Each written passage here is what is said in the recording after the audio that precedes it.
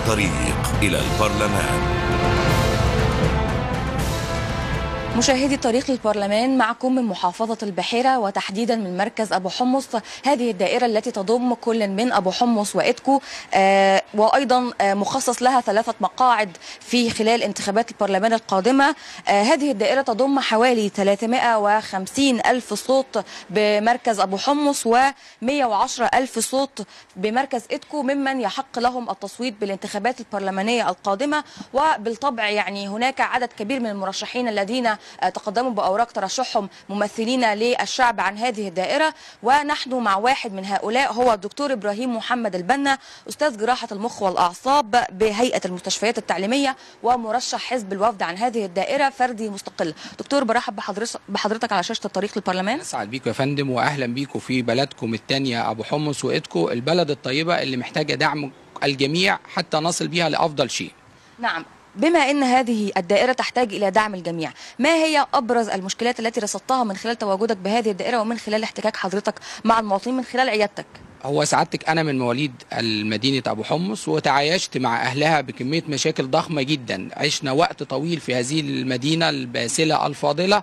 تواجد معنا أعضاء سابقين لم يسعوا لحل هذه المشاكل من مشاكل صحة ومشاكل بنية تحتية ومشاكل في التعليم ومشاكل بطالة الشباب ومشاكل الصيادين المزمنة المستعصية والبنية التحتية من انقطاع المية والكهرباء وعدم توافر الخدمات الصحية وتكدس الطلبة في الفصول وعدم توافر الحد الأدنى للمعيشة الصالحة لأهل بلدنا. أبو حمص وإتكو نعم دكتور يعني ما الذي جعلك تتقدم بأوراق ترشحك ممثلا عن دائرة أبو حمص وإتكو يعني السبب الأساسي إن من سبقوني إلا قلة قليلة لم يسعوا لحل مشاكل هذا البلد الطيب اللي بنسعى جميعا إن إحنا نصل لأفضل شيء في من خلال المعطيات البسيطة إن إحنا نصل لأفضل إنتاج وأفضل معيشة لهذا الشعب الطيب.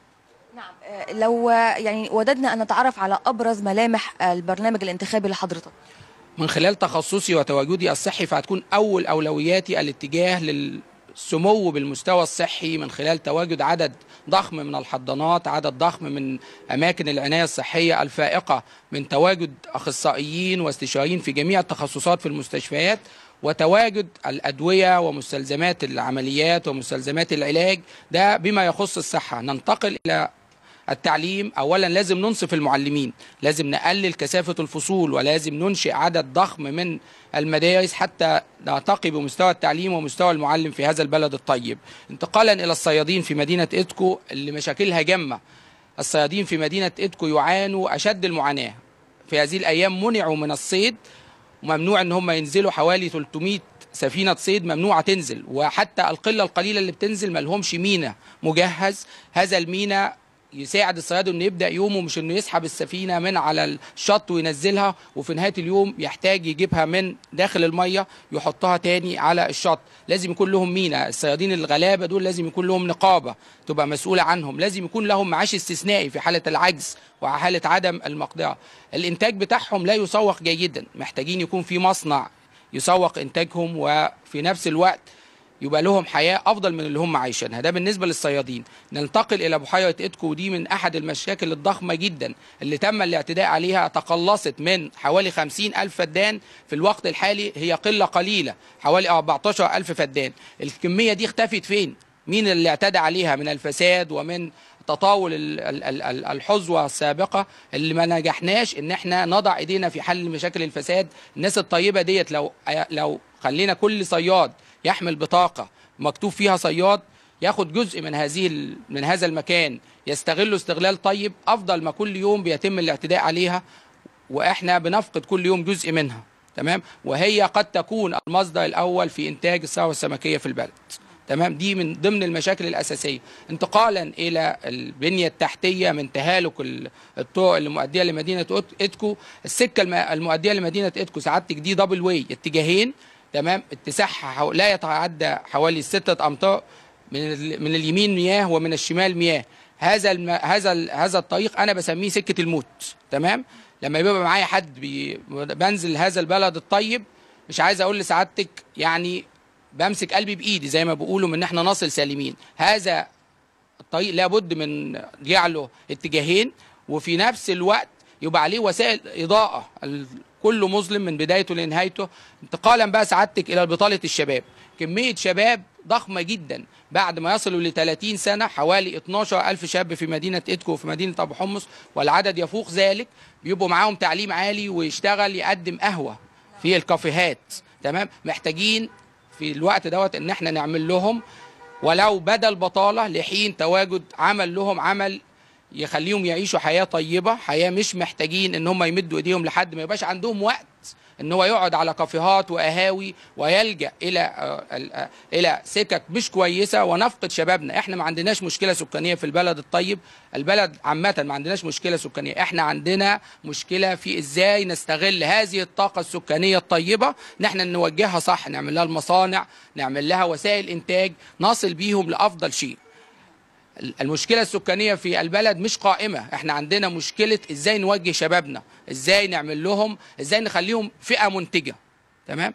ومشاكل جامة. يعني قد نصل بفضل الله سبحانه وتعالى ان إحنا نحاول نحل هذه المشاكل المستعصية. في مدن ادكو خاصة انقطاع المياه بشكل متواصل. تمام؟ يعني سعادتك الميه ممكن تتبقى قطعه ثلاث أيام.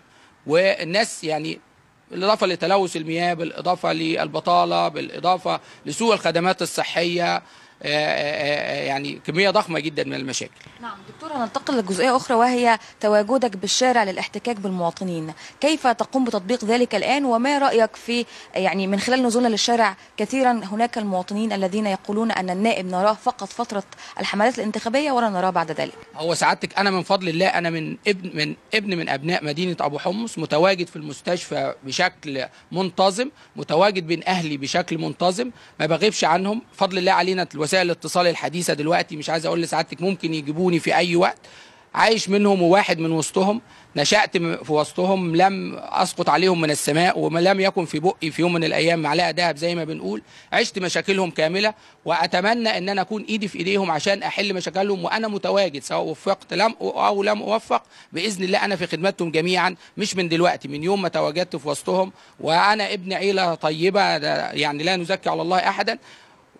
الجميع يشهد لنا بحسن السمعة وفي جميع الأحوال هنكون في خدمة هذا الشعب الطيب نعم إذا كيف تتوقع المشاركة في هذه الدائرة الانتخابية؟ هل الناس لديهم تفاؤل أو أمل بالانتخابات البرلمانية القادمة أم هناك حالة من يعني كيف رصدت ذلك خلال تواجدك وسط المواطنين؟ انتقلنا سعادتك بعد 30 ستة إلى شعب واعي يفهم كيف ينتقي من يمثله. وده أملنا وده تفاؤلنا بالوقت اللي جاي. لم إن شاء الله لن نعود لمن آه، يقدم الخدمات الخفيفة ولمن يقدم المال السياسي للناخب بحيث إنه يضحك عليه وياخد صوته. إحنا بنسعى دلوقتي إن إحنا ننتقي نائب كويس يكون ممثل لهذا الشعب الطيب يعبر عن أحلامهم يضع يده في يدهم لتحقيق أهدافهم وفي نفس الوقت ما يكونش آه، بيستغلهم وينجح ويختفي عنهم. لازم وده أملنا إن الشباب وأن الشعب ينجح في حسن الاختيار. نعم. ما هو أول المشاريع القانونية التي آه، تود أن تقوم باقتراحها حين دخولك البرلمان؟ الحاجة الأساسية الحاجة الأساسية والحاجة ال- اللي يجب جميعا إن إحنا نسعى لها على المستوى الدولة إن إحنا نفعل مدنية الدولة. نبتعد عن الاتجاهات التي قد تسقط البلد في وقت من الأوقات. ده على مستوى الدولة عامة. إن إحنا نحسن علاقاتنا بجميع الدول. إن إحنا نستغل إنتاجنا ومواردنا بالعلو بهذا الشعب الطيب. إن أنا أصل بمستوى صحة ومستوى تعليم. إن أنا ما يبقاش عندي عدد من المعالجين بالفشل الكلوي يستنزفوا هذا البلد. إن أنا ما يبقاش عندي عدد من الشعب اللي يعاني من الفشل الكبدي والفشل الكلوي بهذا العدد الضخم من خلال إن أنا أحسن المياه المياه ما تبقاش ملوثة إن أنا أ- في نفس الوقت يبقى عندي وقاية قبل ما اعالج من منطلق إن أنا أضع خطة لوقاية الشعب من هذه الأشياء المزمنة وفي نفس الوقت أعالج الم- المشاكل القائمة بحيث في خلال كيف يتم ذلك قانونيا يا دكتور؟ قانونيا إن إحنا يجب إن إحنا نفعل ما نملكه. البسيط ما نملكه في خدمة هذا الشعب الطيب. بدل ما نوجه إنتاجنا للاستهلاك لا أنا عاوز أعمل مصانع وأعمل مستشفيات ولا استغل الإمكانيات البسيطة الموجودة في البلد ونستغلها أفضل استغلال. تمام؟ يعني أقولها بالمعنى البلدي بتاعنا. هندي لكل واحد من أهل البلد الطيب ده هو وسيلة للمعيشة أفضل ما نديله سمكة ياكلها. يبقى من خلال هذا المنطلق نعلو بهذا الشعب الطيب نعلو بالامكانيات البسيطة بتاعتنا لنضع نفسنا في مقدمة الدول بإذن الله.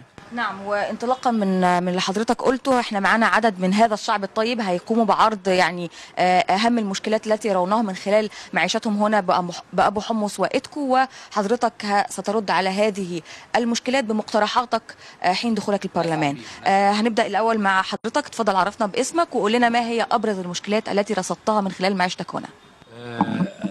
علي البنا من مواطني إدكو قبل كل شيء بشكر قناة الحياة اللي بتعيش وتتفاعل مع آه، كل أبناء الشعب لحل مشاكلهم. في الحقيقة أن مشاكل إدكو مشاكل مكتظة ولما نيجي أسردها حصرت مشاكل ياما قوي. من ضمنها البطالة بطالة الشباب بطالة الشباب التي تمثل جزء خطير جدا والتكسح في الشوارع اللي بيوصل إن عدد عدد المتكسعين في الشوارع من الشباب المحترم المؤهل إلى حوالي 12 ألف شاب. ال- ال- المشكلة دي مش مشكلة كبيرة. واللي حاططها أن هناك شركات شركات بترول. اغتصبت أماكن كبيرة جدا من من مناطق من أراضي إدكو.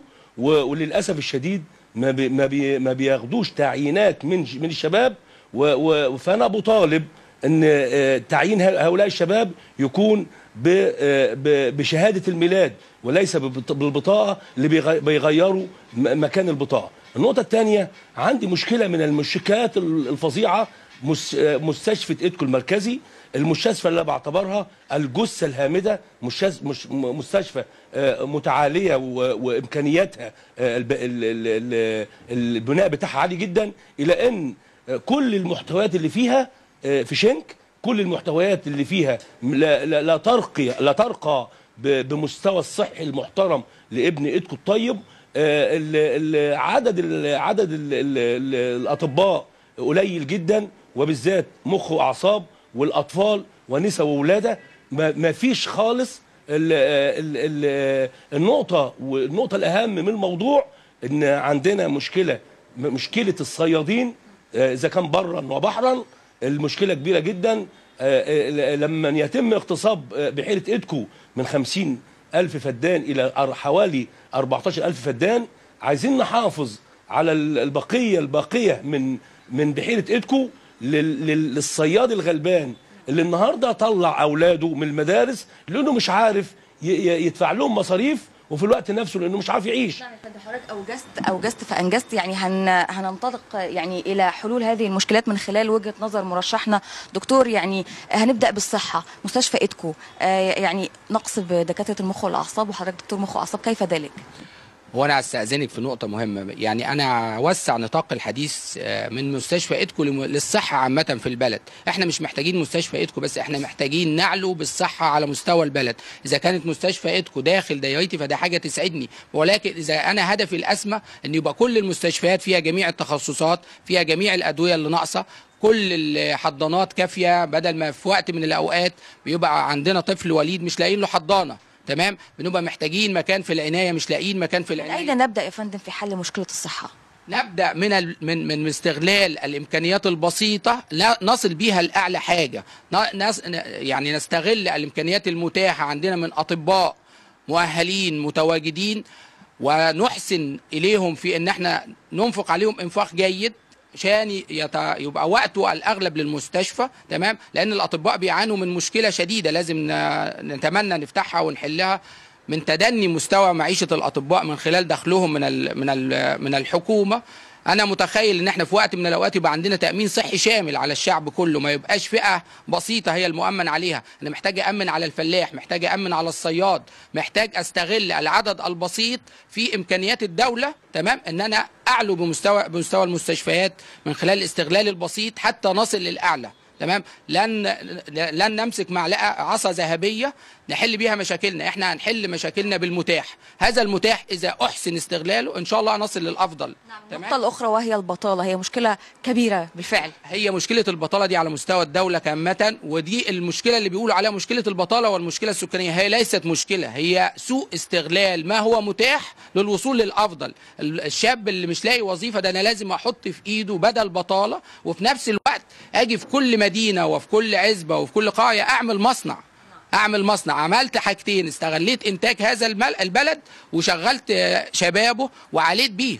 وإنتاجه بدل ما أبيعه بثمن بخس ويستغل الوسيط في. أخذ مكسب هذا الشعب لا أنا أخلي الإنتاج دخله يوضع في يد المنتج تمام ونحل مشكلتين يبقى بقينا دولة منتجة ما بنبيعش منتجنا خام وفي نفس الوقت حليت مشكلة البطالة فهننتقل لمواطن آخر بتعرف على حضرتك وما هي أبرز المشكلات التي رصدتها في عجالة؟ مهندس أحمد عبد السيد آه، عضو لجنة الوفد أبو حمص. آه، مشاكلنا مشاكل عادية زي أي مشاكل موجودة في كل قطاعات الجمهورية. وهنبرز مشاكل أبو حمص في المشكلات السريعة كده. تدني المستوى التعليمي آه، مشاكل مراكز الشباب خاصة عدم وجود ملاعب ويتمثل ذلك في مركز شباب قريتي أنا شخصيا مركز شباب الغابة. مشاكل مياه الشرب رغم إن أبو حمص موجود فيها أكبر محطه شرب موجودة في- محافظة الجمهورية كلها مشاكل المواقف خاصة مواقف البر البحري الموقف الموجود عند المستشفى والموقف الموجود عند البر ال- ال- عند الكوبري الأرضي ومشاكل عدم وجود كوبري علوي على مزدان أبو حمص ودي من أهم مشاكل مدينة أبو حمص. مشاكل حوادث الطريق الطرق المستمرة على الطريق الزراعي بين أبو حمص وبين كفر الدوار ودمنهور لعدم وجود كباري علوية للمشاة. آه، عدم البدء في كوبري ال- اللي بيربط الطريق الدائري بالساحل الدولي بالطريق الزراعي عند قرية الغابة. ثم عندنا مشكلة أخيرة بقى آه، آه، مشكلة يعني تتمثل في آه، أحد الكوارث اللي نتج عنها تصرفات آه، ما بعد ثورة 25 يناير وهي ضعف مستوى الأداء للوعاظ ولائمه المساجد وعدم قيام وزارة الأوقاف بدورها كاملا في آه، تدريب وتوعيه هؤلاء الوعاظ. نعم أنا بشكر حضرتك شكرا جزيلا. هنتقل للدكتور إبراهيم. دكتور يعني آه خلينا نمسك جزئية جزئية ومقترحات حضرتك لعلاجها في عجالة. خلينا نبدأ من لماذا كل هذه المشكلات خدمية؟ لماذا لا يو- لا يوجد بنية تحتية في أبو حمص؟ تعلمنا من خلال التعليم السابق لنا إن أي مشكلة بداية حلها اننا نضع خطة. هذا البلد الطيب محتاج من يضع خطة للعلو به إذا كان على مستوى الصحة إذا كان على مستوى البنية التحتية إذا كان على مستوى المزلقنات حتى على مستوى الحوادث نحن لا نضع خطة طويلة الأجل. إحنا محتاج- محتاجين نضع خطة ولو على خمسين سنة يبقى عندنا خطة مؤقتة وخطة طويلة الأجل. اللي بيحصل إن بيجي المسؤول يقعد سنة ويمشي ويجي من بعده يبدأ من جديد. تمام؟ وفي نفس الوقت يبقى عندنا سياسة الثواب والعقاب. من يوضع في موقع المسؤولية يسأل بعد مدة ماذا قدمت وماذا أنتجت. فإذا أنتج نضع يدنا في يده ونساعده. إذا لم ينتج فهناك كفاءات هي اللي هتعلو بالبلد الطيب ده. هي مشكلتنا إن إحنا ما عندناش حسن الإدارة لازم يبقى عندنا مبدئيا خطة نضع بيها للوصول لهدف معين. هذه الخطة لا توضع وإن وضعت تبقى قصيرة الأجل وإن وضع الشخص لا ينفذ هذه الخطة. هذا مشكلة البلد عامة وأبو حمص وإيدكو جزء من هذا البلد الطيب. إذا هننتقل لمواطن آخر آه، بتعرف على حضرتك آه، في عجالة أيضا آه، صف لي ما هي المشاكل التي رصدتها وتكون مختلفة عن المشاكل التي رصدناها من قبل حضرتك. عبد التوني من أبو حمص هو مشكلة أبو حمص إن طبيعة مصدر الدخل الرئيسي في أبو حمص إن هو يعتمد على الزراعة. مشكلة الزراعة الفلاح المصري بعد ثورة 25 يناير 30 6 الوحيد اللي ظلم الوحيد اللي ما خدش حقه. عندنا في مشكلة الزراعة ما فيش مستلزمات إنتاج عدم توفير مستلزمات عدم تسويق المحصول بشكل محترم. الفلاح المصري الوحيد اللي ظلم بأصحاب الأراضي الزراعية اللي كانوا ل- لهم أملاك في الأرض الزراعية باعوها وبقت اراضي آه، للمساحات اسكان فالأرض تقلصت. آه، بالنسبة للمشكلة الثانية مشكلة المستشفيات العامة. ما فيش مستشفيات عامة ما كانش شباب وبتاع. بس دي المشكلات العامة ليه حمص يعني كنا نسمع في في المدرسة ونحن صغار أن مصر بلد زراعي. ماذا حدث وكيف سنقوم بحل مشكلة تقلص المساحة الخضراء وبناء آه، المباني عليها؟ هو بالنسبة لأهلنا الفلاحين في مشكلة أساسية مستلزمات الإنتاج اللي بيتم المغالاة في ثمنها على حساب هذا الفلاح المعدم اللي محتاج ان حد يضع يطبطب عليه ويضع يده ويحنو عليه حتى نصل بيه لمستوى اعلى. نيجي نبيع للفلاح مستلزمات الانتاج بالاسعار العالمية ولما نيجي ناخد انتاجه نقول له لا ده إحنا هنوقف التصدير وهناخد منك بثمن بخس. دي المشكلة الأساسية. ننتقل للبنية التحتية في المباني. الحكومة لم تضع للفلاح بديل إن هو يبني يعتدي على الأرض الزراعية. لازم نوسع نقول له طب أنت عندك مساحة قد كده تفضل ابني في المكان ده علشان نستقطب الفلاحين للعمل في في الحقول وفي نفس الوقت نبدأ نستصلح أماكن بديلة وإحنا عندنا الظهير الصحراوي ما شاء الله عليه وهنعيد للنقطة الثانية إحنا مشكلتنا مشكلة تخطيط. تمام؟ بهذا الشعب الطيب بهذه القوة الإنتاجية بهذه الكثافة السكانية إحنا محتاجين مشكلة تخطيط. نضع خطة قصيرة الأجل وتانية طويلة الأجل حتى نصل لأفضل شيء. هنختم مع حضرتك. اتفضل عرفني باسمك وما هي أبرز المشكلات التي رصدتها آه، ومن خلال كونك شاب يعني مشكلات الشباب هنا في هذه الدائرة.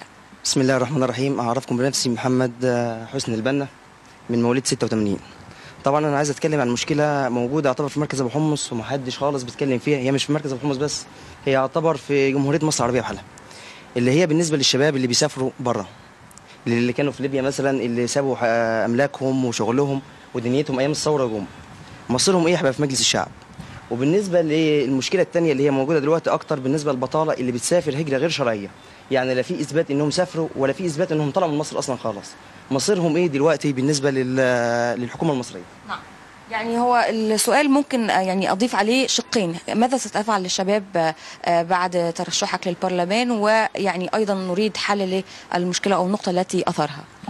الأساس إن إحنا هنضع خطة هنضع في نفس الوقت بدل بطالة لهذا الشباب. هنبدأ نستقطبه. هنبدأ نخليه يقول بلادي بلادي بلادي لل... عشان نحتويهم تاني. لازم هذا الشباب نحتويه ونوجد له مجال للعمل حتى يعود الولاء لهذا البلد.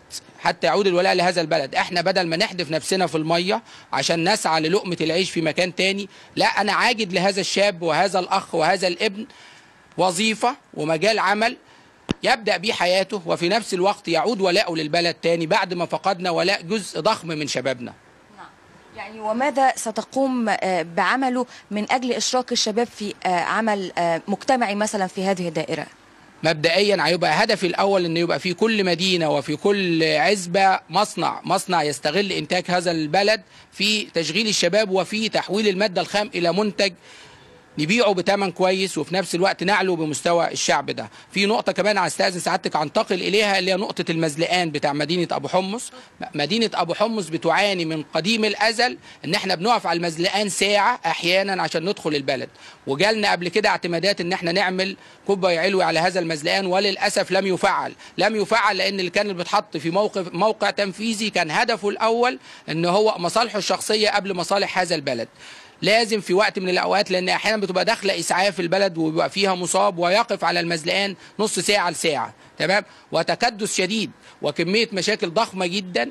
إذا حطينا إيدينا في إيدين بعض استقطبنا ال- الموجود في هذا البلد إن شاء الله هنعلو بيها وهنحل مشاكلها وندعو هذا الشعب إنه يحسن انتقاء من يمثله يكون في موقع مسؤولية يسأل بعد ذلك إزاي هتحل مشاكلنا ووصلت لإيه ومن لا يجيد يتنحى جانبا ويت ويترك موقعه لمن يجيد. نعم أخيرا نوجه كلمة لاهالي دائرتك. الكلمة الأساسية الكلمة الأساسية اللي أنا أحب أقولها لأهل أبو حمص وإيدكو وعلى مستوى البلد بحالها أن يحسنوا الانتقاء أن أن يضعوا صوته في مكان ما يكونش حد ناوي يستغله يستغل صوته يكون متواجد في وسطه يكون عنده كفاءة علمية وكفاءة أخلاقية إن هو من خلال هذا الموقع يخدم البلد. ما يكونش في خلال الانتخابات متواجد وبعد كده يختفي في سبيل مصالحه الشخصية. ويكون حسن السمعة ويكون من أهل بلده ويكون متواجد بشكل متواصل.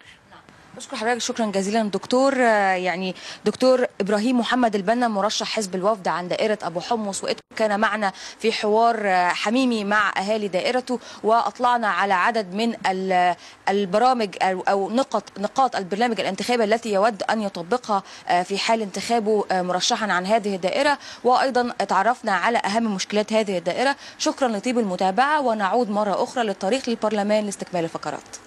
جاي علشان أجمل اللي جاي جوه الحياة. بكرة جايب حلمنا وجايب سعادة وخير معاه المهم إن أنت تبدأ فكرتك خد خطوتك. من زمان واقفين معاك وماشيين في سكتك. هتجيب الدنيا يلا.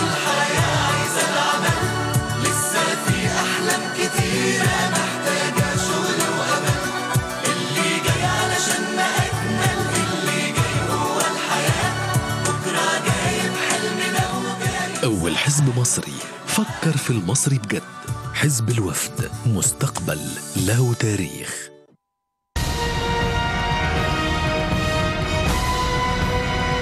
أهلا بكم مشاهدينا في الطريق إلى البرلمان. ربما الأعادة على معظم المقاعد الفردية في غالبية المحافظات بالنسبة للمرحلة الأولى بتتطلب نظرة وإعادة نظر من قبل المرشحين والناخبين أيضا.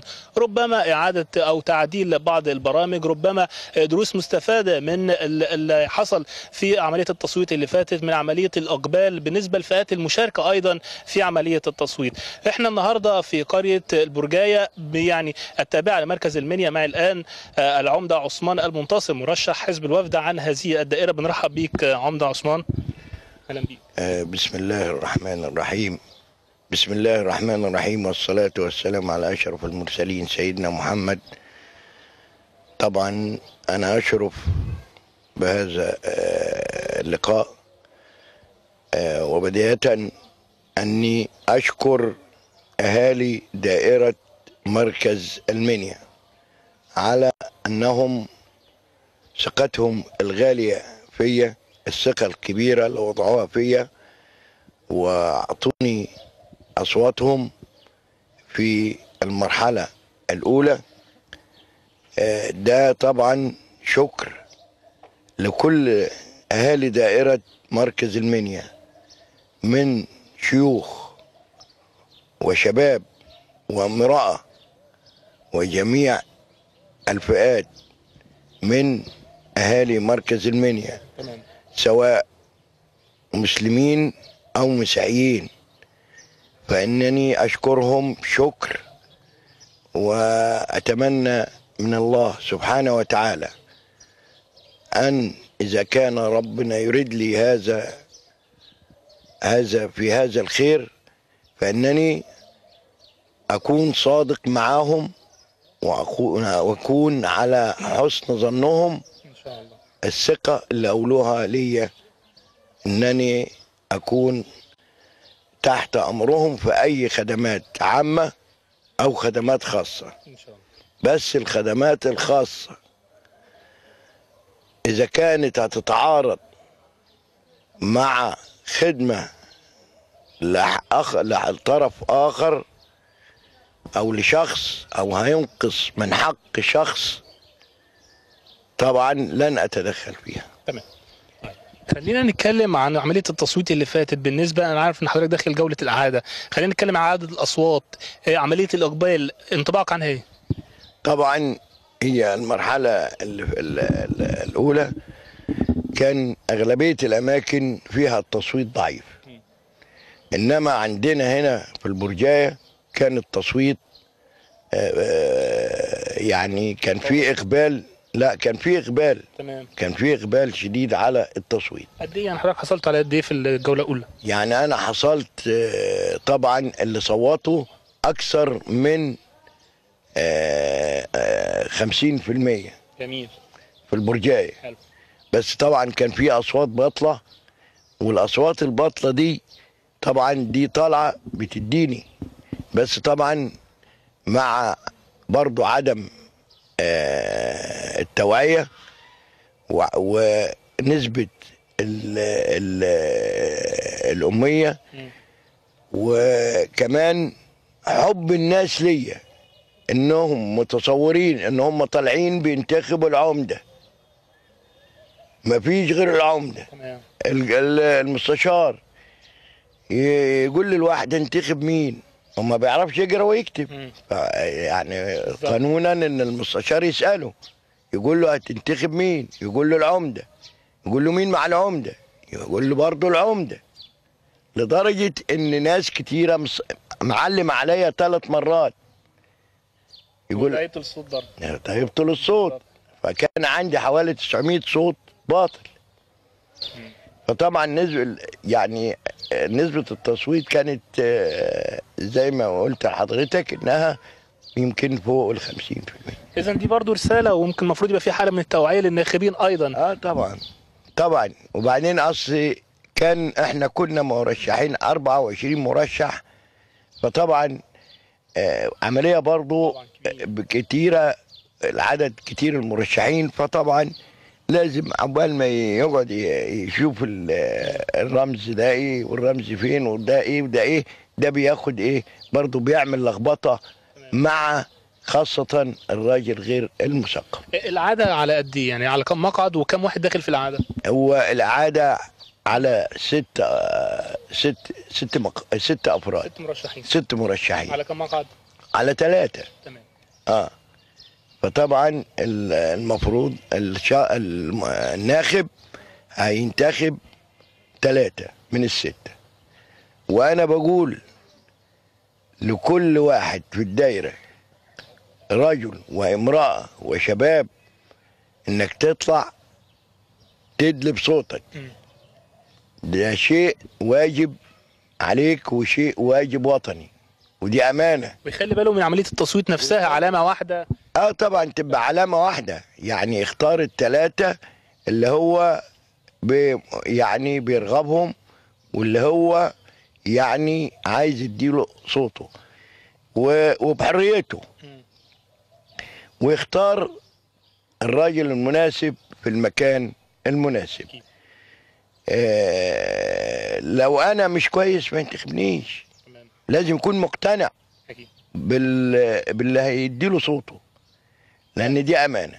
طيب دي ربما تكون أول رسالة للناخبين. أنا عايز برضو تتكلم عن الفئات اللي شاركت. في معظم الدوائر يمكن شايفين الفئات المشاركة كانوا رجال وسيدات وكبار سن لكن فئة الشباب يعني قد تكون ضئيلة في بعض الدوائر. أنا عايز أتكلم عن فئة الشباب في الدايرة هنا. انطباع حضرتك عن إيه؟ هل الفئه كانت كبيرة متوسطة مقبولة إلى حد ما؟ ورسالتك ليهم إيه؟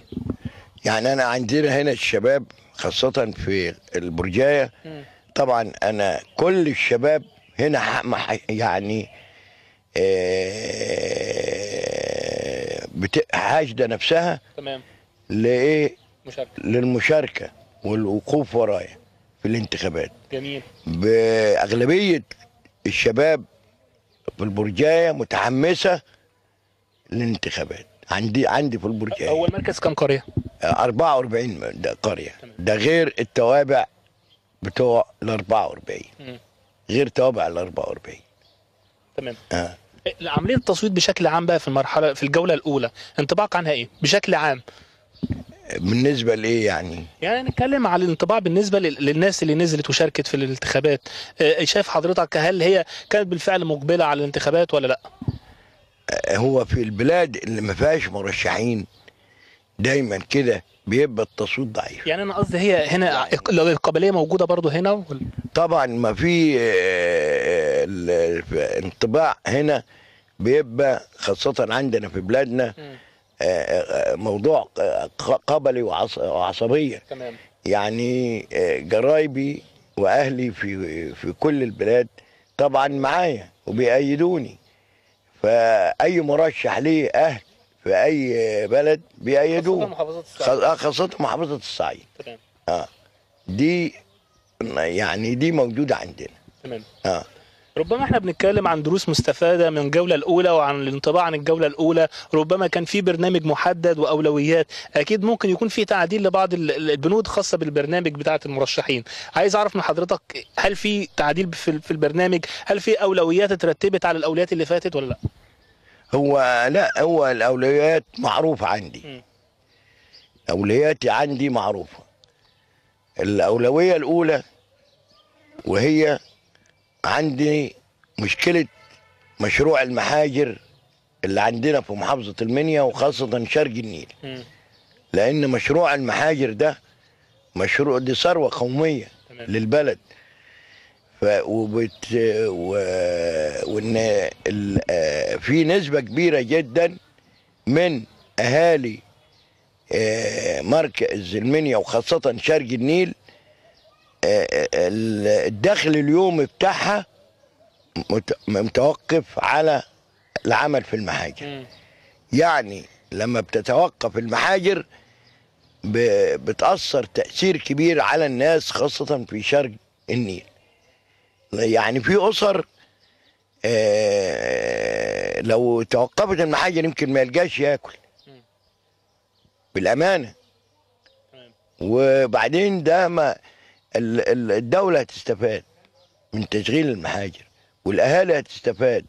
وكل وبعدين ال- المحاجر دي ال- الطوب الأبيض اللي هو بتصنعه المحاجر اللي بيطلع من المحاجر ده مرتبط يمكن بحوالي 95 أو 97 مهنة.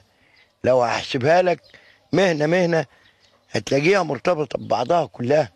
وده بينزل كل فئة من الفئات أو كل مهنة من المهن اللي مرتبطة بالطوب الأبيض. آه، طبعا دي بتشغله. وبي- وبياخد وبياخد منها بي- بيدير له دخل. وبالتالي بينزل يضخها في السوق بينزل يقدر ي- ي- يعيش منها ولأسرته. فالنهاردة لما بيحصل حكاية الرسوم اللي اللي وضعتها وزارة التنمية المحلية على المحاجر وأثرت عليها ده طبعا عمل ضرب جامد في آه، عند الناس وأهالي الناس شرق النيل. فلابد نشوف حل لمشكلة المحاجر شرق النيل لأني حوالي يمكن من 500 ألف آه، أسرة شرق النيل آه، ال- الدخل الرئيسي ليها موضوع المحاجر. لأن مفيش محاجر على مستوى الجمهورية طوب أبيض غير في المنيا. فالمفروض هنكون لينا دور فيها لحل هذه المشكلة. لو اتكلمنا عن مشاكل تانية مرتبطة أيضا بالفلاح ومشكلة الزراعة وتصدير البطاطس. يمكن عارف إن هنا أكتر حاجة ال- البطاطس وبيتقابل مشكلة جامدة بالنسبة للفلاحين. عايزين نعرف برضو رؤية حضرتك ليها إيه؟ إيه المتوقع من هذه ال- ال- الزراعة؟ هو حضرتك طبعا بالنسبة لإحنا المحصول الرئيسي عندنا هنا في البرجاية محصول البطاطس. آه، ومحصول البطاطس ده في في زراعته مكلف وتكاليفه عالية. إلى جانب إن أصلا التجاوي دي بتيجي مستوردة من بره وبيتحكموا فيها موكلين للأسف. ودي مشكلة برضه هنشوفها. ولازم تتعالج. عشان أنا ما ما اخليش موكلين يتحكموا في في جوت الناس وفي لقمة عيش الناس. عدد بسيط ما ينفعش إنه يتحكم في لقمة عيش الناس. تمام. عدد بسيط. يعني طن التجاوب يوصل 16000 و17000 وهو يبقى جايبه بره واجع عليه بخمس 6000 جنيه ولا 7000 جنيه. ويجي يبيعوه لي أنا ب 15000 و16000 و17000 وبعدين لازم نشوف حل لازم يبقى فيه تصدير للبطاطس. لأن عدم تصدير البطاطس أدينا سنتين النهارده في حالة آه، خسارة شديدة جدا. من عدم تصدير البطاطس لأن إيه؟ طبعا خلى الأسعار تدنت. تمام. تدنت. لخسارة جامدة يعني. يعني الفدان البطاطس بي...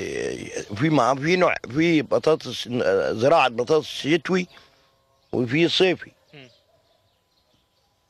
ف فدي مكلفة. يعني فدان في الشتوي ده اللي هو إحنا فيه حاليا ده اللي مزروع مش أقل من انه يتكلف من 12000 جنيه الفدان. طيب الفدان نهار ما يجيب له هيجيب له 12 طن 13 طن على حسب ظروف البيئة والجو بتختلف.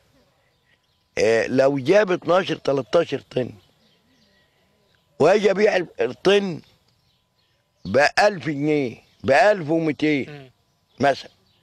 يبقى فين ال- ال- ال- العائد اللي أنا الفلاح مستنيه من زرعة عشان يكسب منها ويقدر يعيش منها هو وأسرته. أو إن كان عليه ديون وخاصه س- لو كان واخد قرض منين؟ من بنك التنمية. يبقى كده مش هيقدر يسدد الب... يسدد القرض لأن هو واخد القرض عشان ي... يقدر يزرع أو يقدر يشتري التجاوي فلما بت... فلما يحصل الضرب فطبعا هيبتدي يخسر مش هيقدر يسدد. والبنك بيطالبه وبيدخله في قضايا وفي محاكم. فدي برضه لازم نشوف لها حل مع بنك التنمية. فطبعا آه، أنا طبعا ال- اللي عايزه برضه من الحكومة إنها تساعدنا في تسويق المحاصيل. إن شاء الله. لازم يبقى في تسويق ال- في طريقة لتسويق المحاصيل عشان النهارده الزراعة أنت أنت في مصر خصوصا إن أنت في الأصل أصلا بلد زراعية قبل ما تكون أصلاً صناعية. بلد زراعية قبل ما تكون صناعية. فالنهاردة ال- الفلاح الأسمدة أسعارها غالية. والكميات اللي بتتوزع في الجمعيات لأن هم الوقتي رفعوا ال- الأسمدة من البنك التنمية وأضافوها للجمعيات.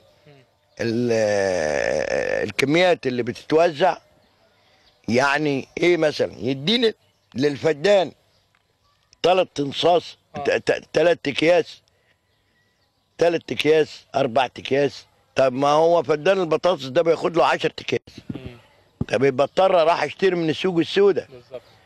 ما لو ما ما ما, ما أنا ما, ما لو ما عطيتش ال- المحصول بتاعي ال- الكمية الكافية مش هينتج مش هيديني المحصول. يعني كمثال يعني النهارده آه، آه، أي أي إنسان المكا... لما ما يتغذاش هيقدر يقاوم ويمشي إزاي؟ لا طبعا. نفس حكايه النبات ده لازم ليه نسبة معينة من الغذاء وغذاؤه إيه؟ السماد. فمشكلة السماد دي مشكلة برضه. تمام. ولابد إن إحنا نشوف لها حل. آه. طيب إحنا عايزين برضو نستعرض بعض الملفات الخاصة بالدايرة والمشاكل اللي بتعاني منها أهالي الدايرة. إحنا معانا بعض الأهالي نستعرض منهم التفاصيل و- ونشوف إيه الأولويات بالنسبة لهم. طيب إحنا برضو هنبتدي بحضرتك عرفني بنفسك وقول لي يعني إيه المشاكل اللي عندكم وإيه المطلوب من المرشح بالنسبة للبرلمان القادم؟ يحيى فاروق حسن رئيس مركز شباب البرجاي آه، حضرتك إحنا بالنسبة للمطالب بتاع الدائره قبل كل شيء إحنا بنتكلم عن النائب بتاعنا هو نائب متميز في الخدمات حقيقة يعني. و- وكمان تميزه إن هو عنده أفكار كتيرة جدا عن التشريع والرقابة. يعني مش نائب يعني هو بيعرف الدور المنوط به عضو الشعب أو النائب البرلماني اللي هو تشريع ورقابة فضلا عن انه خدمي. وهو بيقوم بالدور الخدمي 100% 100% كعمدة للبلد. والدور ال- ال- التشريع والرقابي هو فاهمه جدا وعارف يعني إيه تشريع وعارف يعني إيه رقابة وأدوات الرقابة المنظمة. إحنا للأسف أنت اتكلمت في حتة مهمة جدا إن هي بالنسبة للخدمات المطلوبة. الفلاح المصري فعلا في انحطاط كامل بسبب عدم تسويق المنتجات بتاعته. أنا لو أز- لو أعمل جمعيات على غرار الإصلاح الزراعي زمان على ما كان بيخش القطن في البورصة كان بيعمل جمعيات لتسويق منتجات الفلاح. إحنا بنطلب من سيادة النائب إن في المرحلة الجاية في موضوع التسويق ده لازم يتعمل جمعيات في كل قرية لتسويق منتجات الفلاح حتى لا يقوم التاجر باستئصال الفلاح أصلا. بضرره لأن أنت الدولة تتدخل في عمل جمعيات تسويقية على غرار القطن زمان لما كان الإصلاح الزراعي بيعمل هذا الكلام. تاني حاجة لما مؤاخذه أنت بتتكلم على عزوف الشباب. عزوف الشباب ده له أسباب كبيرة جدا. خد حضرتك اولا الإعلام كان له تأثير هنا لا هنا في عندنا هناك عشان مرشح هنا عشان مرشح النسبة هنا أقول لك 80% شباب طالع من من البلد إنما النسبة عموما في في البلاد اللي ما فيهاش مرشحين نسبة ضعيفة ليه؟ ما في أسباب اولا الإعلام ليس له تأثير قوي جدا على الشباب في المرحلة الموجوده ديت. بيجيب بعض النخب بيتكلموا ويتحدثوا في أمور يعني بتنفر الشباب. تاني حاجة وزير الشباب أنا يعني بلوم عليه في حاجة رغم إن هو راجل ممتاز جدا جدا جدا. المهندس خلاب عزيز من أفضل الناس. بالك إيه اللي عنده فكر وعنده رؤية. ولكن بعيب عليه مانع مراكز الشباب من التعامل في السياسة. ودي أخطر شيء اللي خلى الشباب يعزف. امنع جميع المصالح الحكومية آه إلا مراكز الشباب. لما يجي المرشحين كلهم يعني بدون استثناء يؤمر مراكز الشباب بأن يستقبل جميع المرشحين مش مرشح واحد فقط لا غير. هنا هيخلي الشباب يعرف يعني إيه سياسة. أثقف الشباب إزاي؟ إنما أنت عندك هنا مصر لا ما فيش ثقافة في الانتخابات. ما فيش ثقافة نهائي لا الندوات موجودة بس ضعيفة. إنما تسيبك من الندوات أنا لازم أشرك الشباب لازم أحركه لازم أفعله. في مراكز الشباب بالذات. دي صار صو- صوره مراكز الشباب. فإحنا بنتكلم على الدور المنوط به الشعب هو التشريع والرقابة فضلا عن إن هو خدمي وأدوات الرقابة معروفة والعمده آه، يعني ممتاز جدا فيها. في أمور كثيره جدا برضو من ضمن النخب في التلفزيون. بيتحدثوا عن عدم خروج الناس. المشاكل اللي حاصلة في البلد حاليا للأسف الشديد أثرت على الناخب. إحنا نأمل من الناس اللي في الإعلام يتحدثوا آه، بلاش الكلام الكتير اللي بيتكلموا فيه عن عن موضوع الشباب. أنت لو رشحت الشباب الوقت أصلا في الانتخابات الشباب نفسه التاني مش هيطلع ينتخب. لأن دي ثقافة في المجتمع. لابد تت- تت- تتولد مع مع مع الشباب من من الابتدائي. في, الابتدائي لابد إن الشباب ده يدرس يعني إيه سياسة يدرس يعني إيه دوره الانتخابي. لازم في الابتدائي والإعدادي والثانوي هذا الكلام. تاني حاجة إحنا بن بن بن بن بنطلب من عمدتنا أو من النائب بتاعنا إن هو يقوم على مصالح البلد عندنا مشاكل في ال- في الدائرة بتاعتنا كتيرة بالنسبة للمحاجر زي ما قال سعادته بالنسبة للدورة الزراعية لابد أن تعود تاني بالنسبة ل عندنا أكبر محافظة على مستوى الجمهورية فيها موارد ضخمة زي المحاجر زي النباتات أكبر- أكبر محافظة على مستوى الجمهورية. في مفيش مصانع تحويليه إحنا نؤمر منه إن يجيب مستثمرين ويعمل مصانع تحويليه في البلد عشان خاطر يعمل قيمة مضافة بدل ما تتصدر المواد الخام لا تبقى من قيمة مضافة يبقى عندنا إيرادات ضخمة إن شاء الله تعود على البلد بالخير والنفع وإن شاء الله ربنا يوفق النائب بإذن الله بتاعنا وإن شاء الله يبقى إن شاء الله هو النائب بتاع الدائره إن شاء الله إن شاء الله. طيب مواطنين آخرين برضو عايزك تكلمني عن المشاكل الخاصة هنا بالدايرة. اولا بسم الله الرحمن الرحيم. حمد الله اخصائي رياضي بالأزهر الشريف. آه، لو هنتكلم عن مشاكل طبعا الحاج يحيى و- استفاض في مشاكل كتير والعمده عثمان آه، ناقش قضايا مهمة جدا عن المحاجر ودي قضية آه، ضخمة داخل آه، مدينة المنيا وبيشمل آه، وبينصب في في صالح آه، مواطنين كتير من محدود الدخل في آه، خط شرق النيل كله شرق النيل محافظة المنيا. آه، لكن عندنا مشاكل كتير عندنا مشاكل الصرف. آه، معظم قرى مركز المنيا آه، لسه ما وصلهاش صرف صحي حتى النهارده. النهارده في 2015 ومراكز وقرى ويمكن قرى كبيرة. يعني قرية زي عندنا قرية البرجاية آه، توصل مثلا 50 ألف نسمة. لما يصلها صرف صحي حتى هذه اللحظة. آه، لما يصلها غاز طبيعي. مع إن إحنا كل الدنيا دلوقتي بدأ الغاز طبيعي. آه لا الرؤية بقى مختلفة. نائب مركز المنيا إن شاء الله العمدة عثمان المنتصر هيكون ليه دور ودور بارز بالإضافة لدوره الرئيسي والدور الرقابي التشريعي لا الدور الخدمي بقى لخدمة أبناء دايرته.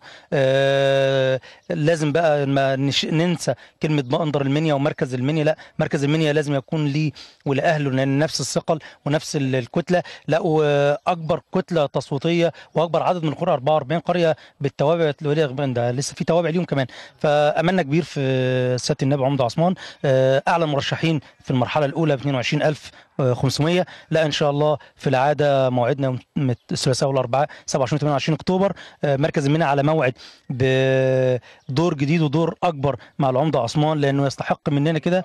آه، العمدة عثمان رجل المصالحات الأول في آه، مركز المنيا آه، يمكن من سنة 85 هو رجل المصالحات الأول وبعلاقات كان أي مشاكل تنتهي في قعدات آه، جميلة بصفاء بين عائلات وبتبقى مشاكل ضخمة جدا بيكون هو آه، حلقة الوصل وهمزه الوصل فيها. آه، ده لو دوره آه، تصالحي. لا دوره كمان كخريج آه، حقوق معه ليسانس حقوق ففي التشريع وتشريع القوانين هيكون إيجابي جدا آه، بخبراته الثقيلة آه، خبراته الثقيلة جدا والمتراكمة في آه، هذا المجال أو مجال القانون.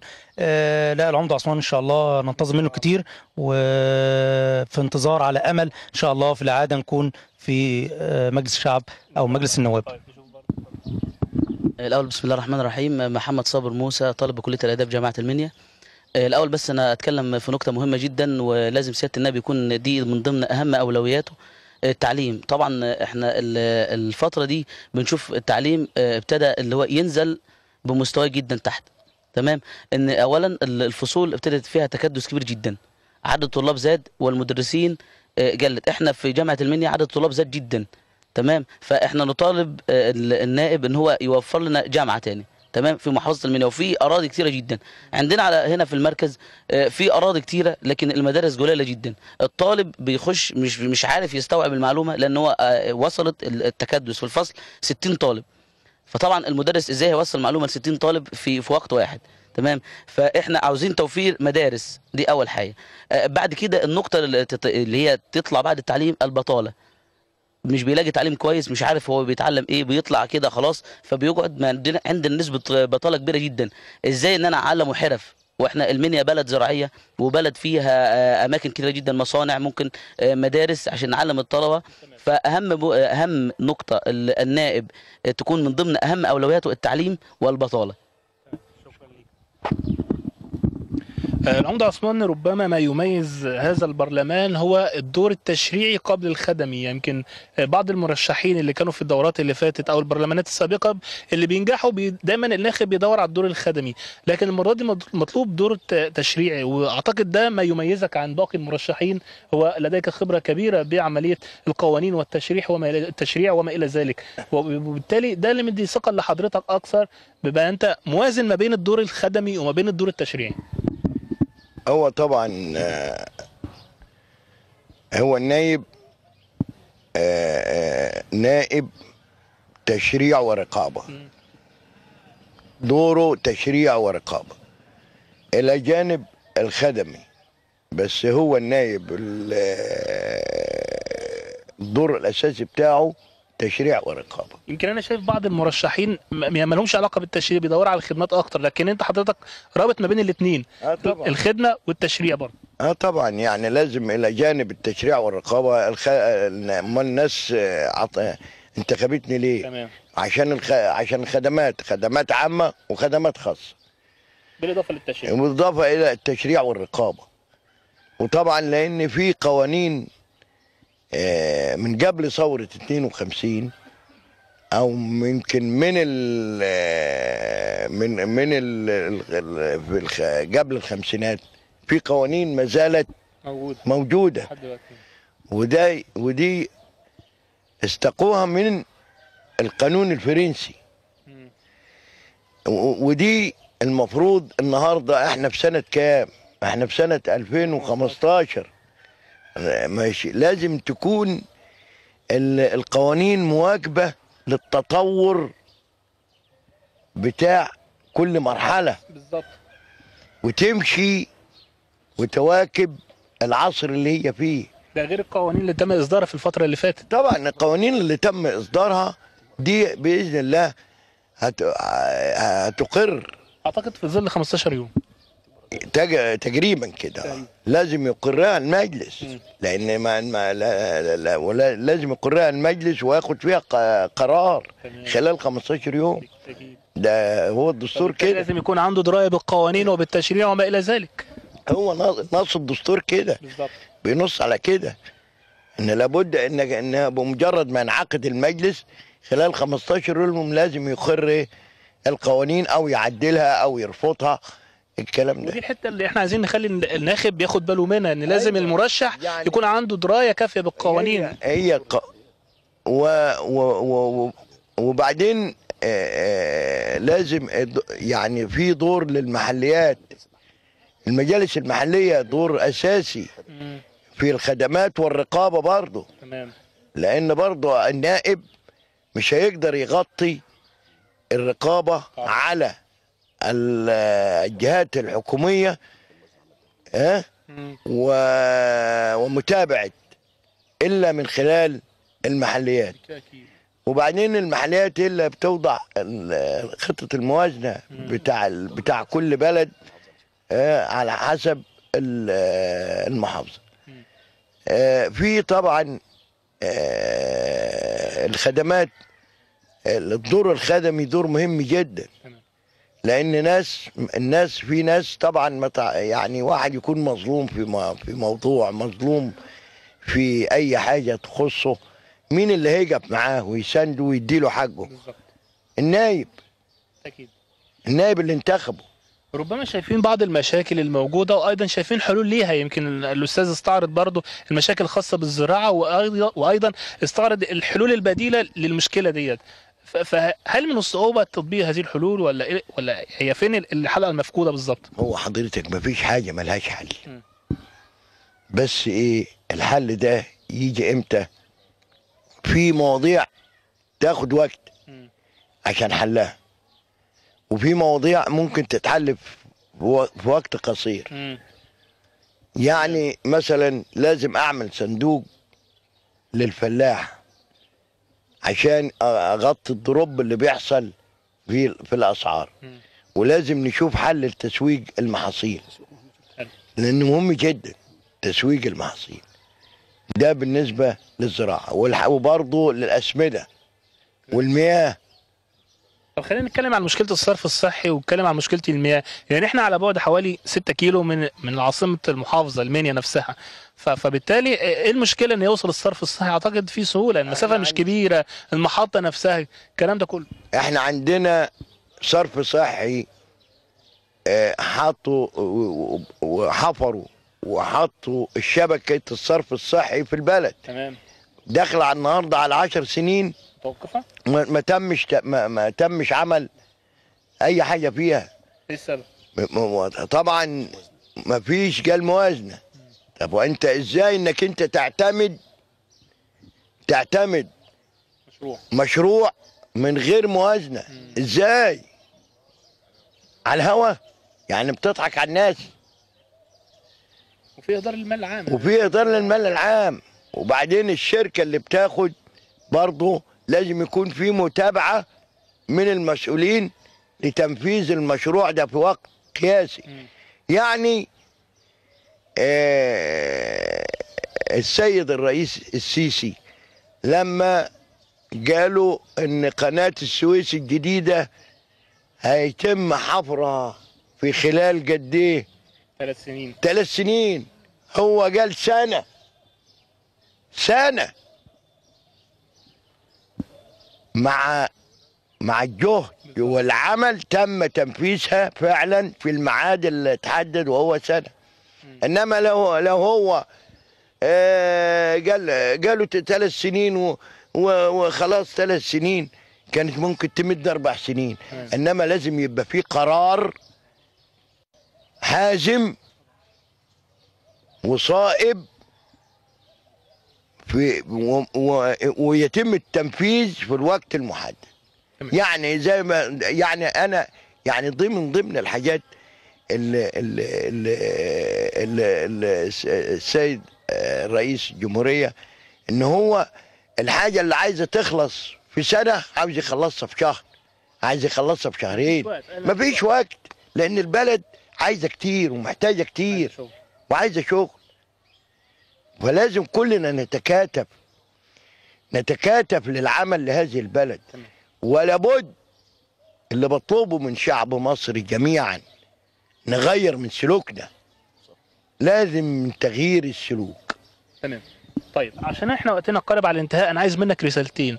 الرسالة الأولى توجهها آه، لل- للمواطن المصري بشكل عام خاصة محافظات المرحلة الأولى. يمكن شفنا الإقبال. بشكل عام لا يتعدى آه، 30% يعني وصل ل 28% أو 26% تقريبا. خلينا نتكلم عن الناس اللي ما نزلتش وشاركت. إيه الرسالة اللي تحب تقول لهم في إيه يعني تقول لهم إيه في جولة الاعاده يعني آه، أطلب من رجائي رجائي ورجائي وبكررها من كل مواطن ومواطنة من كل رج- رجل وكل الشباب. الشباب بالذات بقى. الشباب بالذات. ما ما يبتدوش حياتهم بالسلبية. حلو. ما يبتدوش حياتهم بالسلبية. لأن الشباب ده هو الحاضر والمستقبل وهو دعم البلد. فلا بد إن هو عشان يطلع ويتعود وي- وي- ويبني نفسه على عدم السلبية من ضمنها الانتخابات موضوع أساسي. طريقة اختياره المرشح. ط- طريقة اختيار المرشح عشان يعرف يوازن بين المرشحين وعشان يعرف فكر المرشح ده إيه وده اتجاهه إيه. ويختار معلش، الصح يعني بدون مقاطعة كلامك يمكن من ضمن الأسباب بالنسبة للناس اللي عزفت عن المشاركة قالوا إن المرشحين اللي كانوا نازلين كتير جدا. دلوقتي إحنا في جولة اعاده أعتقد إن العدد محدود. فربما الاختيارات قدامه سهلة. خاصة للراجل الجاهل بقت سهلة. لأن ده الوقت ستة هيختار ثلاثة غير كانوا 24 هيختار ثلاثة ويقدر يدرس كل واحد دلوقتي إيه وايه ويقدر ويقدر يدرس كل واحد على حدة. آه، في وقت بسيط حتى يعني مش آه، مش مش هياخد معاه وقت. فنتمنى من الله سبحانه وتعالى ان إن الناس تقتنع بالشخص اللي هي عايزاه وتنزل تنتخب الشخص تدلي بصوتها ودي الصوت أمانة. هو بصراحة- وأنا, وأنا عايز أقول حاجة تاني. أنا آه للأسف الإخوة المرشحين كلهم إخوة أفاضل وحبايب وبنتعامل بكل صدق وأدب واحترام. بس للأسف إيه يعني ابص الاقي بيطل- بيطلقوا إشاعات على بعض. طب خلينا نتكلم بالمناسبة ك- المال السياسي ظهر ولا لأ؟ هو ظهر وظهر بقوة في أماكن معينة. ده بحضرتك ماشي. آه، إنما عندي هنا لا طبعا. اصل أنا النهارده وده مبدأ عندي. اللي هيجي يطلب مني آه، فلوس ولا اللي أنا هديله فلوس ما هياخد من غيري. بالظبط. وهياخد من غيري ومش هيديني. وبعدين أنا إذا اشتريته منافسين بقى أنا بتكلم عن المنافسين. أنا بتكلم حضرتك أنا إذا اشتريته بالفلوس يبقى ماليش عندي حاجة. بالظبط. صح؟ كلام مظبوط. ومن ضمن الأسباب برضه. كلام مظبوط. اللي بس سعادتك تمام. فأنا بقول للمرشحين الأفاضل بلاش إطلاق الإشاعات. غ... وخاصة الخوض في حاجات شخصية بتمس الش... الأشخاص لأني ما نرضاش بيه طبعا. آه ودي نميمة هيحاسبك ربنا عليها. بالظبط. هو هي مشكلة بالنسبة لعدم العزوف الشباب كما قال سياده النائب آه، بتاعنا إن برضو حكاية القايمة وال- والفردي. القايمة أنت بتنتخب الوقت 45 واحد من الجيزة لاسوان أنا أقصد يعني هذا الكلام. دي مشكلة. أنا مش هنتخب الشباب أنا ممكن أعرف مثلا الناس إنما الباقي أعرفه على مستوى الجيزة دي مشكلة. تاني حاجة برضو قلت برضو بصمم على الدور الاعلام لازم يعرفوا الناس الدور عضو الشعب عضو عضو النائب لأن مشكلة الدور بيه لازم يكون تشريع ورقابي ولازم يصمموا على إن يعرفوا. ودور المحليات هو الدور الخدمي اللي هو مكمل للشعب. ده النائب بتاعنا إحنا عايزينه يشرع ويراقب الحكومة على على أداء اعمالها من خلال الموازنه العامه للدوله دي مهمة النائب بس اللي إحنا عايزينها في المرحلة الحالية. ولازم الإعلام يشتغل عليها إن مهمته الأساسية تشريع ورقابه والرقابة من خلال الموازنة العامه للدوله ونخد أدوات الرقابة السؤال وطلب الإحاطة والبيان والاستجواب. ده بالنسبة للنائب بتاعنا إن شاء الله. قبل ما أختم معاك الرسالة الأخيرة اللي توجهها لأهالي الدايرة ال 44 قرية التابعة لمركز المنيا تقول لهم إيه؟ أنا أشكرهم على آه، آه، أعطاهم ثقة ثقتهم فيا. وإن شاء الله أكون عند حسن ظنهم. وبس ليا ملحوظة بالنسبة للإشاعات اللي بتطلق يعني آه، من فترة بسيطة فوجئت إن الناس بتطلق عليا إشاعة إن أنا هنقل نقطة زهرة للبرجاية. آه. نقطة الزهرة دي نقطة بقالها داخل على تم- 80 90 سنة ولا 100 سنة. فطبعا النقطة الظهر ما ينفعش غير النقطة ما تنفعش لأن أنا أتبع نقطة الظهر بسبب ضرر للعمده نفسه آه، آه، نقطة الظهر ما ينفعش غير ما, ما تنفعش غير في ظهرة أساسا. إلى جانب أنا أنا راجل عمدة. النهاردة لما أجي أنقل نقطة ظهرة عندي. هتلغي دوره هتلغي العمودية عندي مكاني. يعني بمثل وده تاريخ ليا. طبعا. ده تاريخ ليا. لا يمكن أمحي تاريخي واجيب نقطة عندي. تاريخ أجدادي. وأنا لأن أنا يهمني العمودية قبل مجلس النواب. لا يمكن أفرط في العمودية بأي وضع من الأوضاع. ده أنا جبت عمي كان وكيل وزارة الداخلية ساعة ما توفى والدي. ما كنتش كملت السن القانوني العمودية. جينا مس... مسك عمدة عشان يحافظ على إيه؟ وأنا ما كنتش كملت السن القانوني. كنت لسه في كلية حقوق جامعة القاهرة. لغاية ما كملت السن القانوني قدم استقالته واستلمت أنا إيه؟ العمودية. فبلاش الكلام والإشاعات الغير منطقية والمغرضة. تمام. أنا ساعة المرحلة قبل التأجيل ساعة ما تقدمنا للترشيح في الأول المرة الأولى اللي تأجل فيها الانتخابات كان رمزي التليفون الأرضي. مم. كان رمزي التليفون الأرضي. ما معناه تليفون الديوان. بتاع العمودية. فبقول لكل واحد مغرض كلامك ما ينفعش. إحنا دلوقتي رمز النخل. رمز النخلة. تمام. عشان ما حدش يتلخبط. آه. لأنه هو أصلا بعد إذنك لأنه أصلا برضه ان الرموز ما فيهاش المرة دي التليفون الأرض ورمز النخلة ده رمز من رموز الوفد. الوفد العربي. اذا هي الرساله واضحة لكل أهالي مركز المنيا الإشاعات مرفوضة آه، الحقيقة معروفة لكل الناس وأيضا هي رسالة من العمدة عثمان إن كل الناس تنزل تشارك. طبعا. تمام؟ طبعا لازم تشارك دي أمانة. دي مسؤولية. عليكم أهل مركز والصوت أمانة. آه ربنا يحاسبك عليها. بالظبط. آه. إحنا بنتمنى لك التوفيق وبنشكرك طبعا على كل ال- المجهود اللي شفناه في الفترة اللي فاتت طبعا وعلى وقتك. إحنا شاكرين افضلكم وشكرا شاكرين بشكركم جميعا. شكرا لكم شكرا لكم كما تابعنا معكم مشاهدينا يمكن آه، انطباع المرشحين عن الجولة الأولى بالنسبة لانتخابات آه، المرحلة الأولى. ربما الإعادة تشهد تعديل في بعض آه، السلوك اللي إحنا شفناها. تعديل في بعض الإقبال الإقبال اللي إحنا شفناه ضعيف. ربما يكون هناك إن شاء الله إقبال أكبر. عدد المرشحين قليلين. الحج الحجة اللي كانت بتقول المرشحين كتير مش عارفين ندرس. لا دلوقتي الأمور بقت واضحة للجميع. شكرا لكم مشاهدينا وإلى اللقاء. المشكلة الرئيسية عندنا الأمن عايزين نقطة شرطة وعايزين منظومة المياه دي تغير تغيير جذري لأن المياه سيئة. حتى ريحتها سيئة إحنا اللي تفصلنا بين مركز ديروت 8 متر والكرة كلها دخلتها المجاري. عايزين إحنا إحنا أكبر قرية. إزاي تفصلنا 8 متر وتخشناش المجاري؟ ورصف ال- البلد. خش حضرتك البلد واتفرج. المطبات والبلد ما يعني ما تعرفش حتى تمشي على رجليك. العشوائيات عندنا إحنا قدينا 60 سنة فيها. قدينا 60 سنة. وجه هدونا في وسط البرد. ونمنا شهر في الشارع قعدنا شهر في الشارع.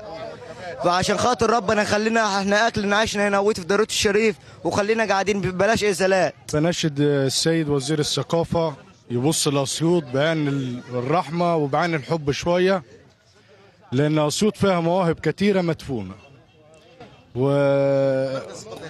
وقصر الثقافة هنا يعني بيعمل اللي عليه لأن مفيش مفيش إمكانيات يعني. المية هنا وحشة جوه. في البلد هنا. وفي محطات معدنية معمولة عاوزين يقفلوها عاوزين يقفلوها الصرف الصحي وبعت لنا إن إحنا لازم تتقفل المحطات المعدنية دي. الجماعة المؤقتين اللي في مصر. كويس في ناس ادي لها خمس سنين وست سنين و15 سنة مؤقتين وهم قالوا هنخلص موضوع المؤقتين. على الصناديق الخاصة مش على الصناديق الخاصة هيثبتوهم. لحد الوقت اللي إحنا فيه ده لا تعاقدوا ولا ثبتوا ولا على الناس عارفة مصيرها. ومتجوز ومعي خمس عيال وما حيلتيش أي حاجة اوكلهم وقدمت على وظيفة واترفضت كذا مرة. وما اخد خمس ترغف عايش في التومين مش ما اخد ازيد من كده الطرق يعني كلها مطبات و... وانفجارات بالنسبة للمية فإحنا عايزين بس نناشد برصف الطرق في ديروت الشريف.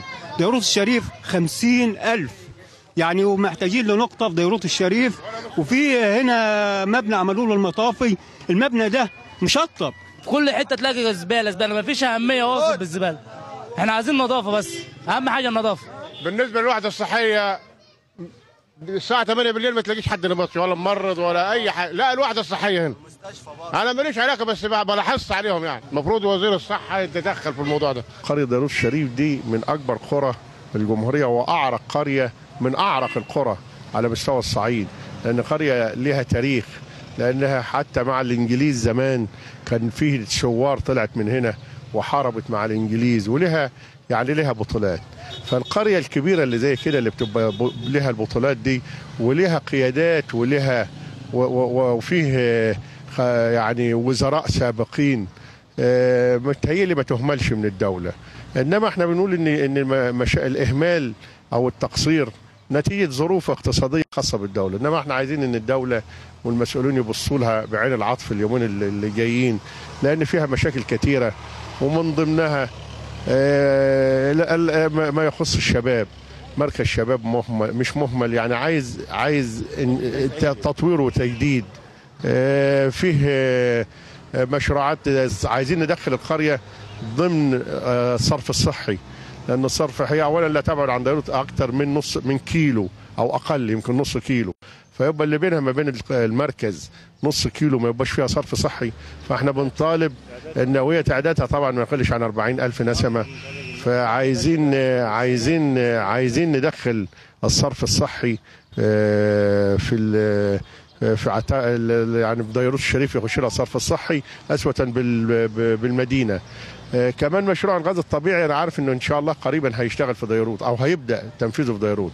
من أولى القرى اللي يجب أن تضم لمشروع صرف مشروع الغاز الطبيعي آه، ديروت الشريف. آه، مع الاهتمام بعد كده بالزبالة الموجودة دي مع الاهتمام برصف الشوارع والمية يعني مشاكلها كتيره وأهم مطلب طالبينه اهالي داروس الشريف كان في نقطة شرطة واتهدت واتنقلت لمقر في المدينة نفسه في مركز ديروت. فهل اللي رايح يعمل شكوى من داروت الشريف يروح على مسافة 4 5 كيلو عشان يروح المدينة عشان يشتكي في, نقطة داروت الشريف اللي هي في المدينة. فعايزين المكان موجود ووزاره الداخلية تبدأ الانشاء تبدأ تنفيذه. مش مخصص ده ده مقر موجود من زمان بس قايل قايل للسقوط واتنقلوا منه لمقر المركز القديم في المركز في ديروت فعايزين سرعة إنشاء نقطة الشرطة. آه، فيه مو- موضوع الغاز. المستودعات لا تكفي. عايزين نزود حصة المستودعات. مستودعات الغاز الأنابيب البوتاجاز لا تكفي القرية. آه، عايزين نزودها. ولو ولو في قرى ولو فيه محتاجة مخابز وفيه وفيه مخاب- مخابز آه، آه، موجودة آه، انشات ولسه ما اشتغلتش يشغلوها. كل هذه مشاكل القرى لأن مشاكل القرى معروفة. فإحنا بنطالب المسؤولين بالنظر لداروس الشريف اللي هي أعرق وأكبر قرى ال- الجمهورية النظر ليها وحل مشاكلهم. ويمكن كان فيه لقاء مع ال- الشباب الجماهير وسيادتك اتعرفت على مشاكل القرية. يمكن أنا في مشاكل ما يعني غفلة عني إنما هم ادرى باصحابها ادرى بيها وذكروها. فعايزين برضو لازم نبص لديروت الشريف القرية الأم اللي هي أكبر قرية آه، بعين العطف. أما مشاكل مركز ديروت عموما إحنا اتكلمنا عن مشاكل القرية واللي هي شبيهة بمشاكل جميع القرى إنما في مشك... مشاكل تخص المركز نفسه. فمركز ديروت اللي إحنا بنعتبره من أكبر مراكز الجمهورية واللي ليه اللي ليه ثلاث نواب حاليا محروم من مثلا وحدة تصريح عمل. تصريح العمل بيروح اللي عايز يعمل تصريح اللي مسافر الخارج عايز يعمل تصريح بيروح الوصية جنبينا. أه حتى أقل حاجة اللي هو الفيش والتشبيه الفيش والتشبيه ده يعني مش مشكلة ده جهاز وعلى كمبيوتر. بنروح نعمل الفيش والتشبيه في في الوصية جنبينا. يعني حاجة مش مع يعني ما تعرفش إيه الإهمال لمركز ديروت ده. الفيش المرور. المرور في الوصية جنبينا. كل المصالح مكتب جوازات مش ما عندناش. فاحنا بنطالب ال- وزارة الداخلية لأن الحاجات دي كلها تخص وزارة الداخلية. المرور تصاريح العمل آه، الفيش والتشبيه الجوازات إن يبقى ليها ليها آه، أفرع في مركز ديروت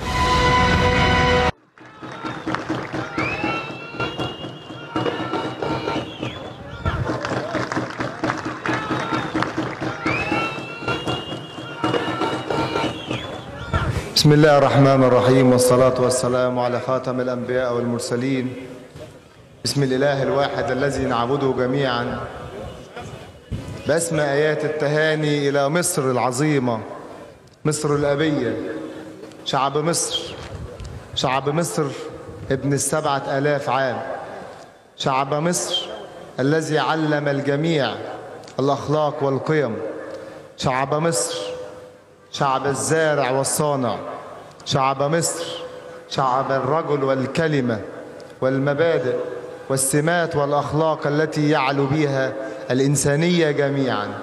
فلمصر والحمد لله جيش يحميها وشرط وشرطة تأنيها وعمال وفلاحون نأكل من كدهم وأيدهم كل الخير. باسم الحب باسم العطاء باسم الخير باسم مواد الدستور واحد واثنين وثلاثة وأربعة وخمسة التي تؤسس للدولة وقوة الدولة وسيادة الدولة وحقوق المسلم والمسيحي والآخرون. باسم كلمة رئيس الجمهورية الذي يقول إن مصر في أعيننا. باسم الحب والعطاء. باسم كل آيات التهاني. والإخلاص إلى أهل الوراء وأهل أوسيم الجميع دون تخصيص أو دون وصف لأنهم جميعا على قلب رجل واحد وحينما أقول على قلب رجل واحد أقصد بها الرجل والمرأة والشاب والشابة. فنحن جميعا جسد واحد يعيش فينا وطن اسمه مصر. فتحيا مصر.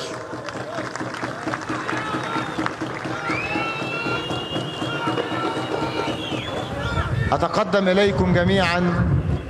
أتقدم إليكم أتقدم إليكم جميعا بالشكر على تشريفكم لنا وعلى سمو وأخلاق حضراتكم لرفعة شأننا. وعلى أخو وطبعا الشكر والتقدير لأخويا أيمن إسحاق والمعلم رشاد اللي قاموا وتعبوا وسهروا عشان ينظموا المؤتمر ده على أرض مصنع الكراسي اللي هي جزء من الوراق.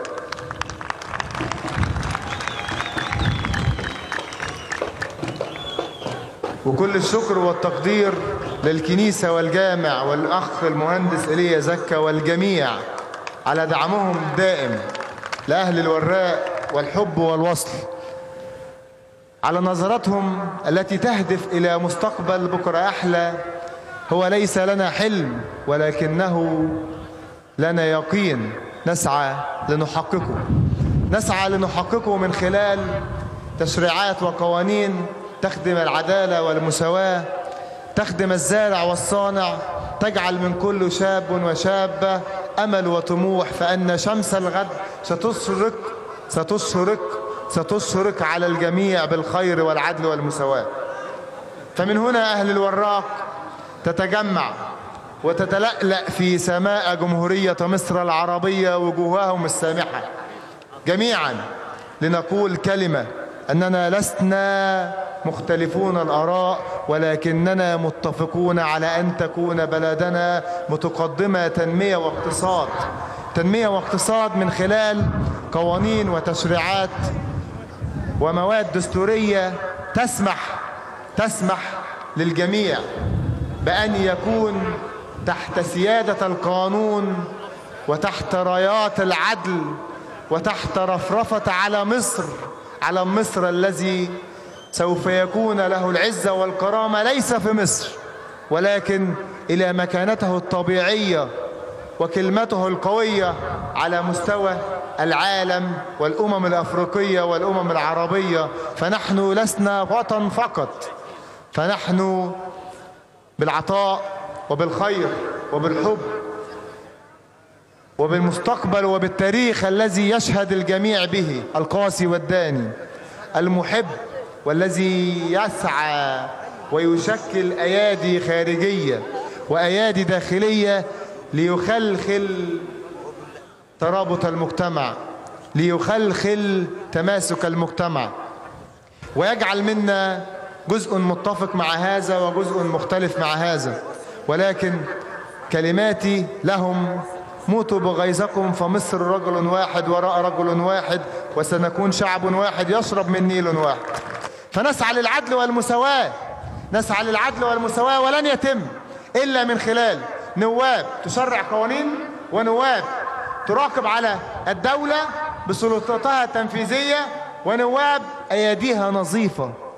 تحب الجميع وتحب الجميع وتحترم الجميع ولا تفرق بين هذا ولا ذاك ولا مسلم ولا مسيحي ولا أبيض ولا أسود ولا غني ولا فقير ولا أسوان ولا إسكندرية ولكن تسعى لرقعة أرض واحدة جغرافيا واحدة اسمها جمهورية مصر العربية.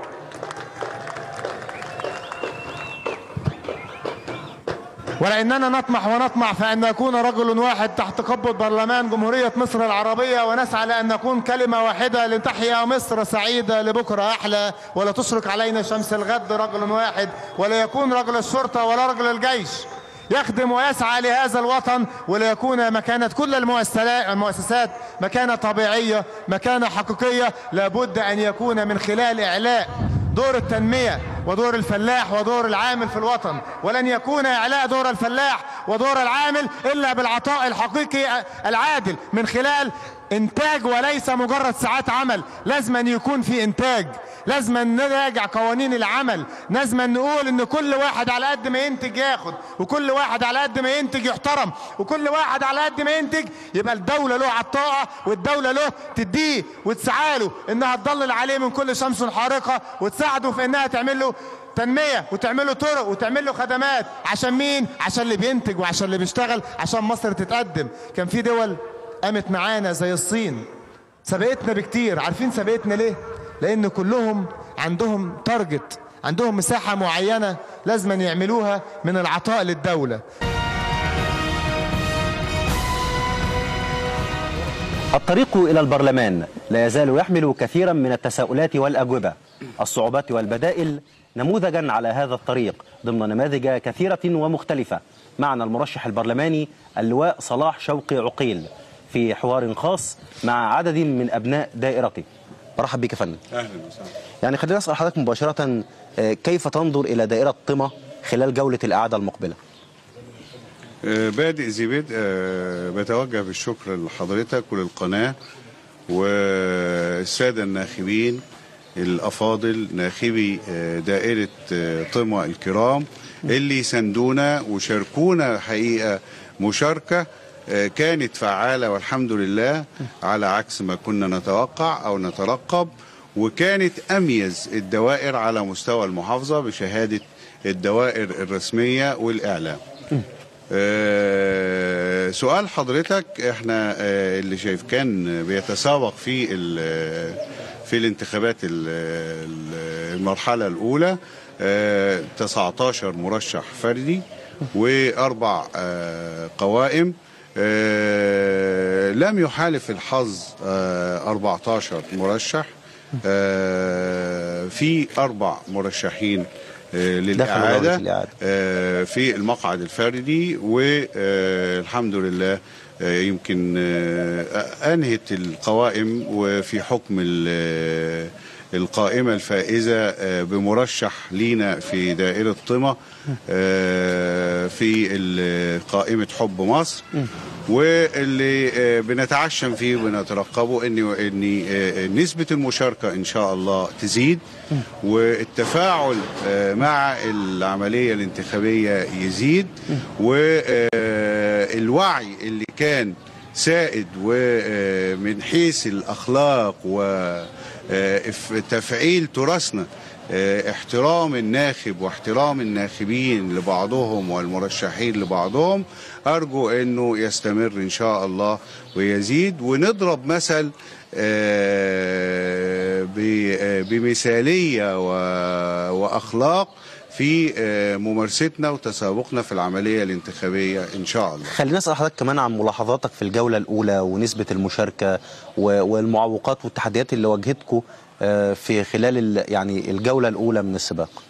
زي ما قلت لحضرتك إن إحنا آه الحمد لله آه تميزت تميزنا وتميزت دايرتنا بالإقبال ال- العالي اللي يمكن تجاوز آه يعني إحنا في حوالي 73 ألف آه ناخب وكسور من 220 ألف بيتجاوز أو يق- يقترب من 30% وده آه تميز و آه كان أهم المعوقات. ال- عدم التبصير الإعلامي اللي ظهر في آه، ارتفاع نسبة الأصوات العالية وللاسف الشديد آه، آه، لم يسبقه آه، تبصير بالعملية الانتخابية وإجراءها وحسن الاختيار فيها وإفراد التنبيه في مسألة القائمة عن الفردي. والحاجة التانية اللي للأسف الشديد ال- المال السياسي اللي أربك العملية الانتخابية وأربك الناخب واللي عمل آه، أعتقد تراجع كبير في خروج الناخب. وللأسف الشديد آه، أنه هو آه، آه، أوقف مواجهة الدولة للفساد الإداري وال- والنية لإصلاح الفساد اللي بتعاني منه الدولة بأنه أصبح إفساد للذمم وإفساد للإرادة وإفساد لحرية الناخب والمواطن اللي إحنا المفروض كان كنا ننتظر المرة دي انطلاقة بهذه الانتخابات البرلمانية والاستحقاق الثالث بأنه ننقي ضمائرنا وننقي إرادتنا ونحفظ جهودنا عشان نوصل لبرلمان نقي.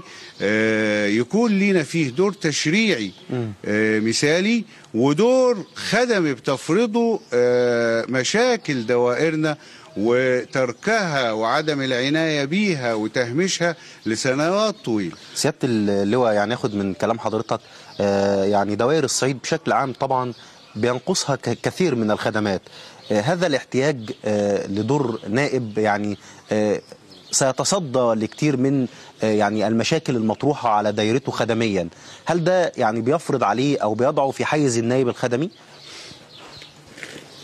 أنا بشكر حضرتك على السؤال آه، الجيد والحقيقة ده واقع ملموس وإن كنا نتطلع لأنه البرلمان القادم إن شاء الله يبقى فيه تميز من حيث الفهم والإدراك والعمق في آه، الدراية آه، بالتشريع و وإعمال ال- العملية التشريعية في تحت قبة البرلمان وإن إحنا بصدد إقرار تشريعات كتيرة وبناء وطن وأمة آه، إلا إنه الواقع في دوائرنا والنظر إلى الخريطة والواقع بتفرض على انه هذا النائب يجب أن يكون يجب وبكرر وأقول يجب أن يكون نائبا خدميا يعني يعنى بكافة خدمات المجت... البيئة ودائرته ومجتمعه لأنه ترك تركت هذه ال- ال- الصعيد بصفة خاصة. ترك لسنوات طويلة مهمش و- ومنسي بصورة أصبحت فيها كافة الخدمات متردية وأصبح إحنا أصبحنا بنواجه طوال آه، فترة العملية الانتخابية الحقيقة آه، ضجيج وألم وتعب آه، بنشوفه بعينينا وتبديه أفواه الناخبين لينا عن الأحوال المتردية وبنحس بيها في الانتقال وبنحس فيها في تلقي الخدمة وبنحس فيها في مستشفى طب وفي حضرتك مية وفي حضرتك صحي. بتشوف إنه يعني انصراف النايب لتأدية الدور الخدمي يعني هل ممكن يشغله عن الدور الرقابي والتشريعي؟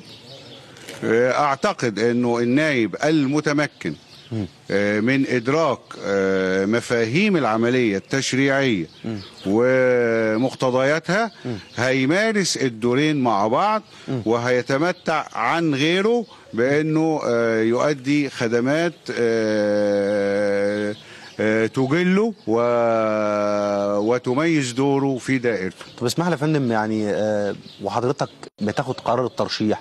هل كان لديك برنامج انتخابي آه، يعني بتط- ستطرحه للناخبين أو طرحته للناخبين؟ هل هناك تعهدات؟ أم أن التركيبة العائلية الموجوده في الصعيد بطبيعة الحال يعني أغنتك عن فكرة البرنامج الانتخابي وأنك تقطع على نفسك تعهدات أمام الناخبين؟ آه، بالقطع طبعا تجربتي في حياتي والعملية آه، خلاني على بصيرة من مشاكل الوطن ومشاكل المواطن. وبالنسبة آه، للدور البرلماني طبعا كان بالنسبة لي آه، شيء أشتاق إليه فعلا أنه يكون لي دور في بناء وطني وخاصة بعد ثورتين جليلتين. وإني فعلا آه، يعني أعبر عن مكنوني وعن آمالي لتحقيق استقرار الوطن وبنائه من خلال آه، البرلمان.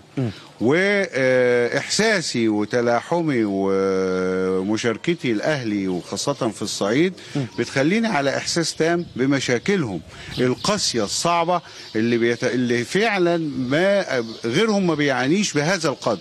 الكل حقيقي بيعاني وأكثرنا بيعاني لكن في الصعيد بصفة خاصة بيعاني أشد المعاناة. آه، إدراك ده طبعا لازم كان بيفرز في داخلي وفي قدامي برنامج طموح لأني أكون برلماني إن شاء الله مشارك ب- ب- بصورة جدية ودقيقة تحت قبة البرلمان وإني أكون آه، شغال وبعمل آه، وفق برنامج يؤدي إلى النهوض باحتياجات ومعاناة وآلام آه، أهل دايرتي. يعني بعض سكان أو بعض أهالي آه، دائرة طمة كانوا بيتحدثوا معنا آه، خلال ساعات الصباح آه، يعني زرنا عدد من الأماكن كانوا بيتحدثوا معنا عن أزمة آه، المستشفى العام في دائرة طمة يعني وحضرتك بجوارك عدد من أبناء آه، الدائرة. يعني خلينا نسمع منهم كمان أكتر عن المستشفى وضع المستشفى وأهم المشاكل اللي بتواجهها المستشفى وبيتعاملوا إزاي معاها. طبعا دي حضرتك من أهم المشاكل للأسف الشديد المعاناة وإن تكون في في طمة آه، مستشفى وحيدة. يعني قبل ما أسمع حضرتك أنا برضو لو حضرتك يعني تسمعنا من أهالي الدايرة. أنا هدي بقول لحضرتك فعلا دي مستشفى وحيدة للأسف الشديد ولا يعنى بها وما بتقومش بدورها وفعلا آه، رغما عن معاناتنا من حاجات كتير إلا إن المستشفى بتتصدر المشهد لدى جماهير طمع. ويعني س- لو زي ما حضرتك بتقول نستمع لأي حد آه يا ريت. من الإخوة الأستاذ سيد عمر. اتفضل يا أستاذ سيد. بسم الله الرحمن الرحيم. بالنسبة لمستشفى طيمة سعادتك فيها نقص شديد في الأطباء. يعني نقص في النساء نقص في كل أغلب التخصصات فيها عجز. فمستشفى طيمة يعني المفروض هي المفروض يعني هتخدم مركز طيمة بقرى. ففيه حضرتك آه مثلا عاوز واحد يعمل عملية عيون مش موجودة يحول على مستشفى ثاني ففي نقص في الأجهزة ونقص في الأدوات ونقص نقص في الإمكانيات. حتى المية المية في الدور الخامس ما تصلش للمريض. يعني مريض مقيم مثلا يومين ثلاثة هتلاقي الم- المية ما طلعتش فوق. ليه؟ المية ضعيفة. والمية فيها مشاكل في المواسير. وكل سنة بيتحط يعني يتحط مبالغ لصيانة المستشفى وما فيش حاجة مثمرة للمستشفى إطلاقا يعني. برضو في مستشفى الحميات جنبيها برضو فيها نقص شديد وإهمال في كل المستويات. آه، حقيقة المستوى غير يعني آدمي خالص يعني. السراير أنا رحت وزرت مريض السرير السرير معمول بشنابر. وبعدين تدخل الحمامات دورات المياه غير صالحة. يعني دورات المياه غير صالحة خالص يعني. آه، العيادات الخارجية. الناس بتروح آه، تقطع تذكرة بتاع تلاقي إيه ما فيش اللي هو الأدوية. بالنسبة لل- لل- للصيدلية الأدوية غير كافية. بقى- فمستشفى طيمة حقيقة المفروض تج... يعني سمعت إن هي واخدة قرار إزالة. فالمفروض هي يعني تتحدث وتتعمل على أحدث مستوى. خلينا نسمع من اللواء صلاح عن رأيه في مشكلات مستشفى العام في طمة إزاي يتع- هيتعامل مع آه، هذه المشكلات المتربية في مجال الصحة وتحديدا في آه، المستشفى العام. هو ال- الحقيقة يعني آه، بالنسبة لمستشفى طمة العام أو المركزي آه، ورغما عن سلبياته إلا إن في إيجابيات آه، موجودة وهي رصد مبالغ مالية لإحلالها والتجديد فيها. ويمكن كانت عشان خدت أولويات آه، في أولويات لأقصى الاحتياجات زي مستشفى جهينة مركز جهينة ومستشفى العام في مدينة سوهاج وداخلة إن شاء الله آه، هذه المستشفى للإحلال والتجديد. وباذن الله آه، هيكون دور البرلماني القادم وممثل آه، طمة إنه دعم المستشفى رغما عن رصد مبالغ مالية انه إنه يدعمها بأقصى الإمكانيات مع أجهزة الدولة ويبقى لها ميزانية عالية إن شاء الله. إلى جانب آه، الضغط وضرورة الوصول إلى دعمها بالأطباء وال- ووسائل العلاج والتمريض وكافة مستلزمات الناحية العلاجية. ويمكن أنا كان برضو آه، عشان أقول لحضرتك برضو من الأدوار المنوطة بالنايب إنه يسعى إلى تزويد طمة إن شاء الله ببعض المستشفيات مش هقول مستشفى واحدة سواء من وزارة الصحة أو من الجهات المانحة زي فكرتنا إحنا والحمد لله مع مكتب الزكاه الكويتي وأنا يمكن ذكرتها في مقال قبل كده أو في حديث تلفزيوني قبل كده إنه سعينا لديهم وهيعملوا لنا إن شاء الله. إحنا عملنا وانتهينا من المقايسة بتاعتها مستشفى بحوالي 40 مليون جنيه ما يزيد عن ال 40 مليون جنيه ولو احتاجنا إن شاء الله نعمل أكتر. يبقى يعني دور النائب إن شاء الله إنه يسعى لدى كافة الجهات لمحاوله القفز على مشاكل الدولة وضعف إمكانياتها. خلينا نسأل حضرتك كمان سيادة اللواء إنه الانتقال بين آه، القرى المختلفة داخل دائرة طمة ربما آه، يعني تشكل صعوبة بالغة أمام المواطنين. يعني خلينا نسمع برضو من حد تاني من ال- من رفقة حضرتك آه، مدى الصعوبة اللي بيتعرضوا ليها عند الانتقال بين قرية وقرية أخرى داخل المركز؟ اتفضل يا فندم آه، أستاذ أحمد خلاف بسم الله الرحمن الرحيم.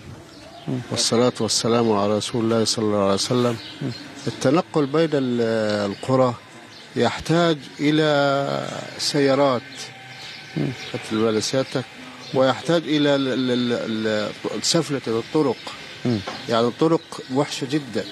عايزة تسفلت لأن ينقصنا لأن الطرق وحشة جدا.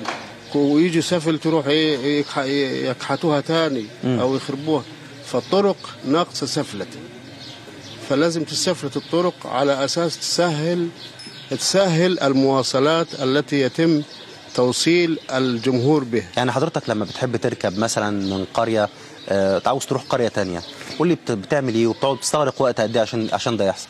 ده بصعوبة جامدة يعني بيستغرق حوالي ساعة عشان نركبه. داخل المركز لأن خ- في الخمسة كيلو داخل المركز. لأن ال- ال- العذاب الأسفلت ما فيش. آه، العربيات غير متوفرة عشان الطريق وحشة.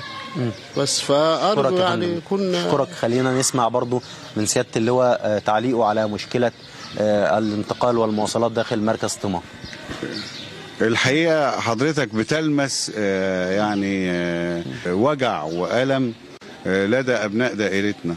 إنه آه، طبعا الطرق زي ما عبر الأخ الطرق مهترئة بصورة قاسية جدا. لا يتحملها بشر. آه، ده أساس إنه المطلوب إعادة النظر في تقييم وتوزيع وتفعيل شبكة الطرق والانتهاء من أعمال المية. إن كان في بعض لأنه للأسف الشديد إحنا في آه، تأخر في أعمال المياه والصرف الصحي والغاز. وسرعة الإنجاز فيها عشان نبتدي فعلا نمهد طرقنا ونعبدها ونرصفها ونشجرها لأن طرق حتى ال- ال- المنظر لا يليق بريف أو بصعيد أو بجزء عزيز في آه، مصر.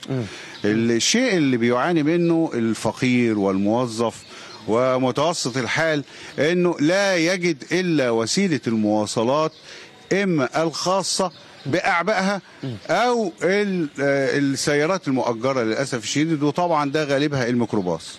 آه، المسألة كان زمان وده شيء لازم يعود إن شاء الله اللي هو الأتوبيس العام كان بين القرى والمدينة لأنه ده دايما عندنا المدينة دي الوظيفة والدكتور واللي هي بنعتبرها العاصمة طمة الوظيفة والدكتور وقضاء الحال وقضاء المصالح.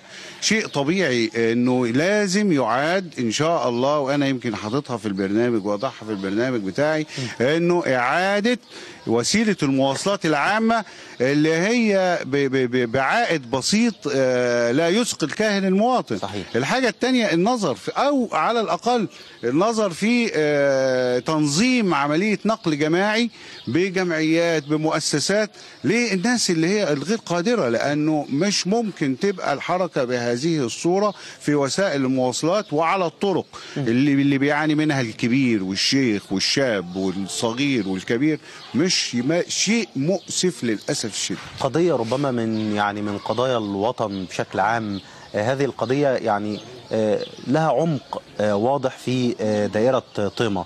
يعني هي قضية تمس الشباب في المقام الأول قضية البطالة.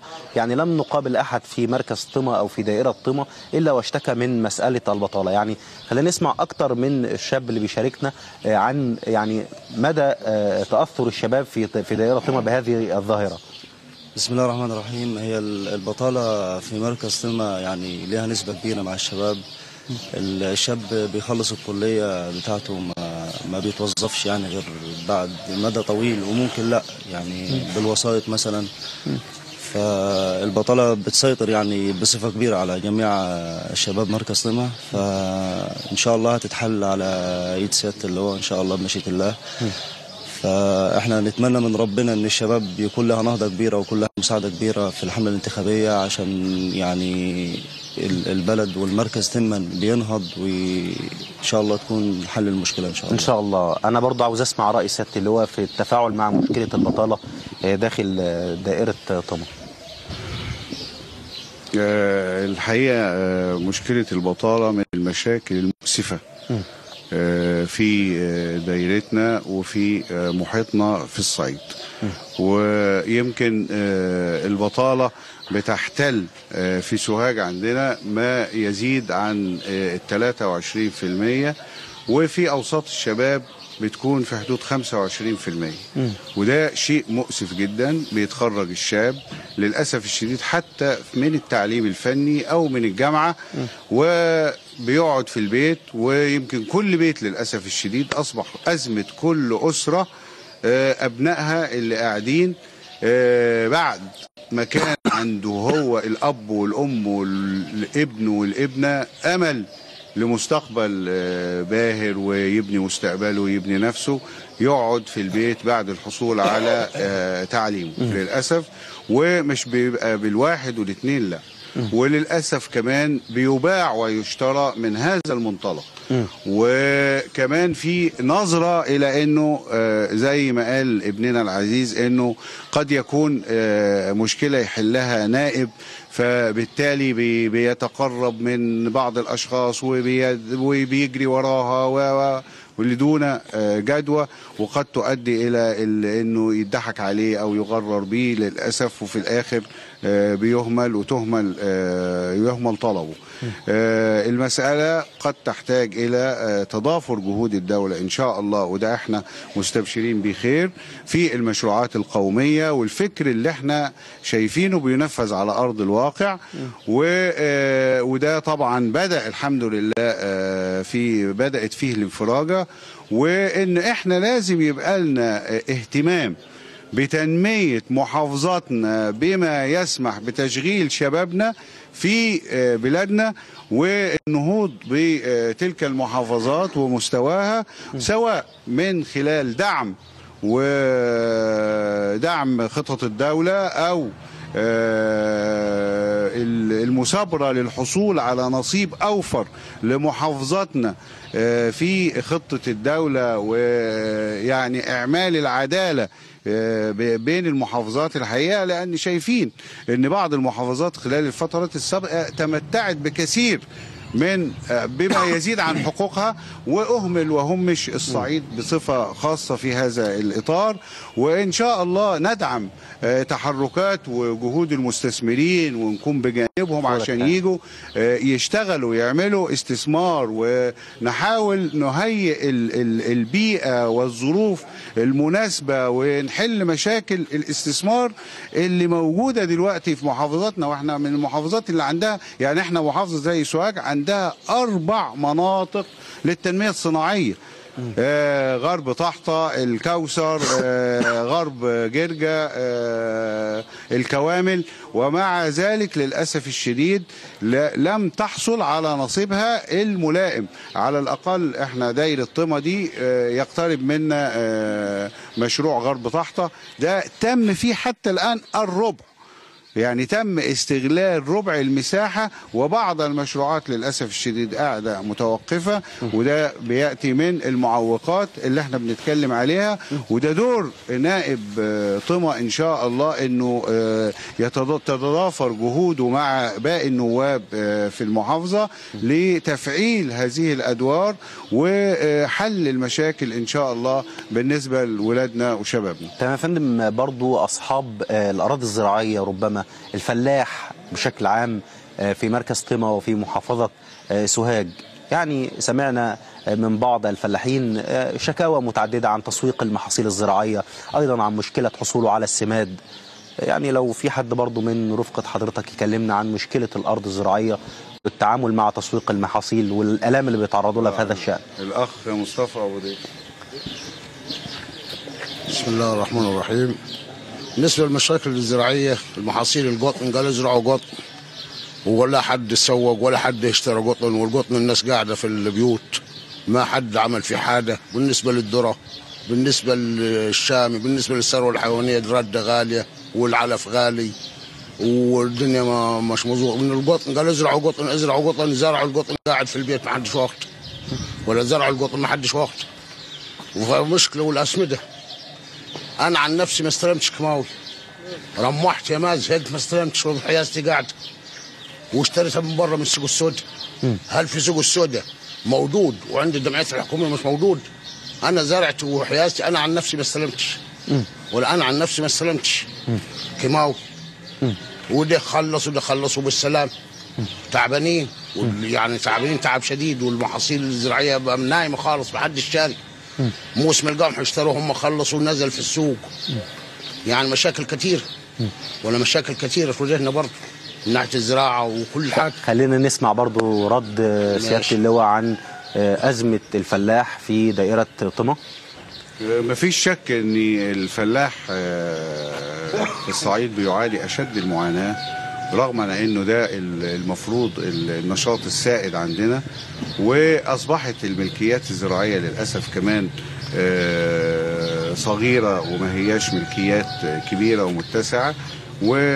والفلاح بيعاني آه، قوت يومه من مردود إنه بيعاني من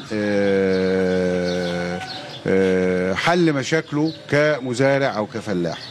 آه، مشكلة السماد مشكلة رئيسية وأساسية من آه، فترة طويلة ويمكن أنا شخصيا كنت بعاني منها وحاولت التدخل مع المسؤولين عشان نجيب بعض الكميات آه، لقريتنا أو بعض قرانا ولا زالت هذه المشكلة أنه لم تحل وفي نفس الوقت في سوق سوداء أنا ما أعرفش السوق السوداء كيف تحصل على هذه الأسمدة وبتبيعها للفلاح بسعر لا يتناسب مع ظروفه وتكلو بيرفع تكلفة آه، زراعته. ال- الحاجة التانية آه، بعض المشاكل اللي بيعاني منها اللي هي آه، مشاكل التسويق الزراعي.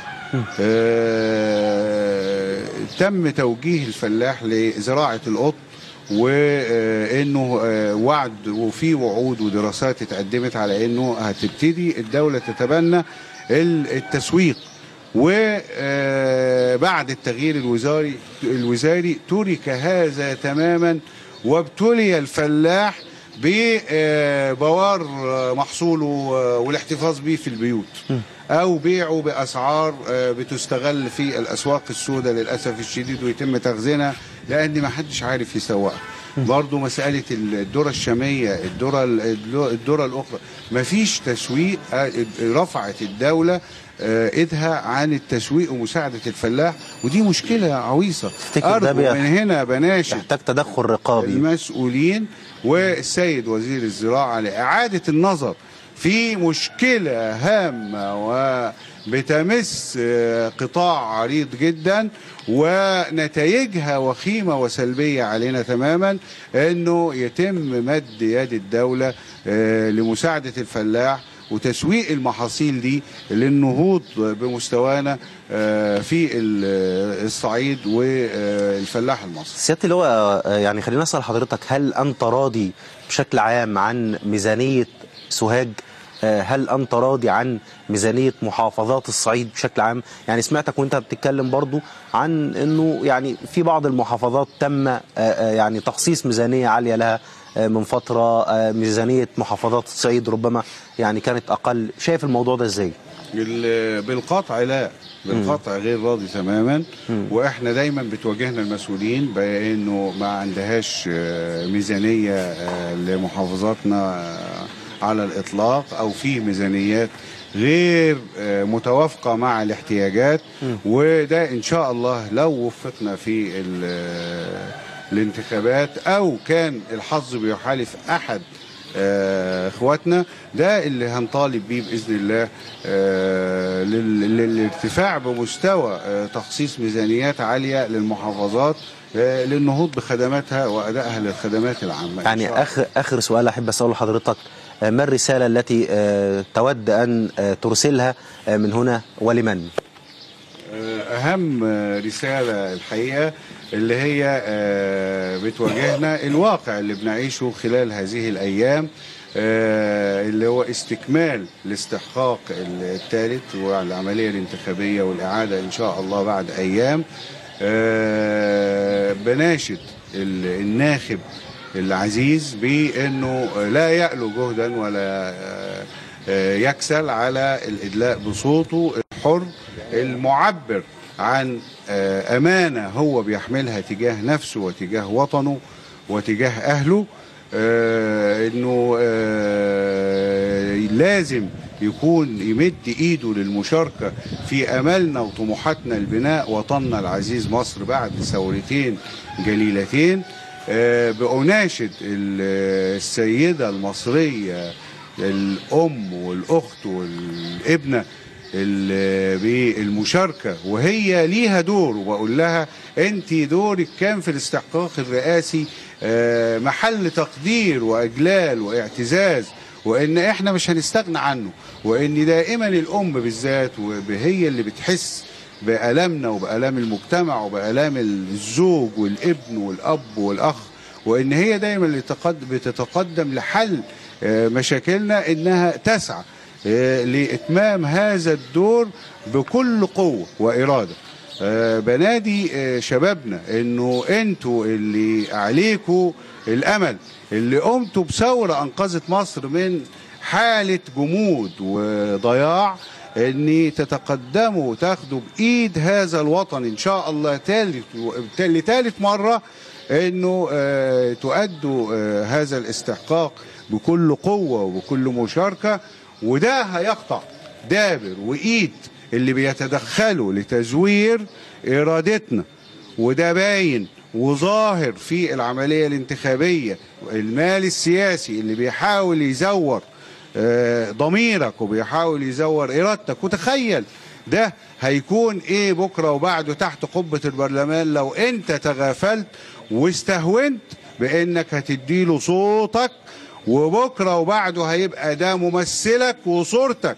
صورتك الراجل اللي خدعك وزور ضميرك وزور إرادتك وساعدك على إنك تغفل عن الدين اللي هو ما بيقبلش هذا تراثنا وعاداتنا وتقاليدنا اللي لا تحض على ذلك ابدا إنه ضميرك وروحك آه، آه، في إيدك تجاه هذا المزور وإني أنت يبقى لك دور في وطنك دون تمن عشان تقدر تطالب بحقك لأنك لو خدت منه حاجة النهارده مش هتطالبه ولا هتقدر تبص له ولا هيبقى لك حق عنده إنك هتقول له ادي لي خدمة ولا ادي لي اللي ينفعني ولا يوظفني ولا يرفع من شان وطني. سيادة اللواء أنا بشكرك شكرا جزيلا على إجراء هذا الحوار. شكرا جزيلا. بكرر شكري وتقديري واعتزازي وتحية لأهل دايرتي آه، من آه، قناتكم العزيزة وألف شكر. أهلا بيك.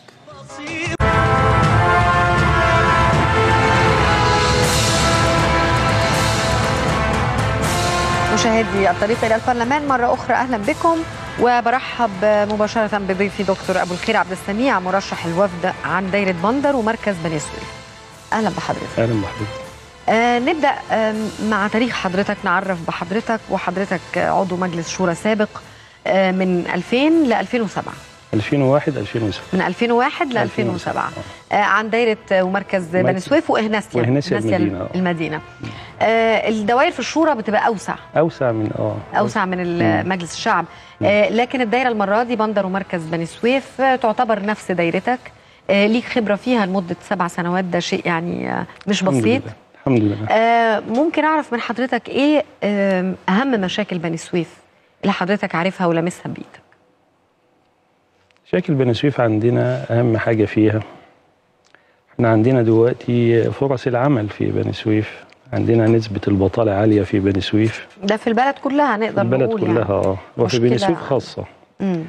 حتى عندنا في مشكلة في إن المصانع اللي بتقام في بني سويف بيجي لها عمالة من خارج بني سويف. ليه طيب؟ آه يعني ده ربما إن شاء الله آه مستقبلا يصحح. يبقى عندنا قصر فرص العمل في بني سويف. على أبناء بني سويف إلا لو كان في خبرات أو مهارات آه غير متوفرة في بني سويف بس أعتقد إن كل الخبرات أو المهارات متواجدة حاليا في بني سويف إن شاء الله. إن شاء الله. مشكلة عندي تاني مشكلة الزراعة ودي مشكلة عامة. آه، عندنا دلوقتي في مشكلة في الزراعة. آه، عندنا تكلفة الإنتاج عالية جدا. في بني سويف.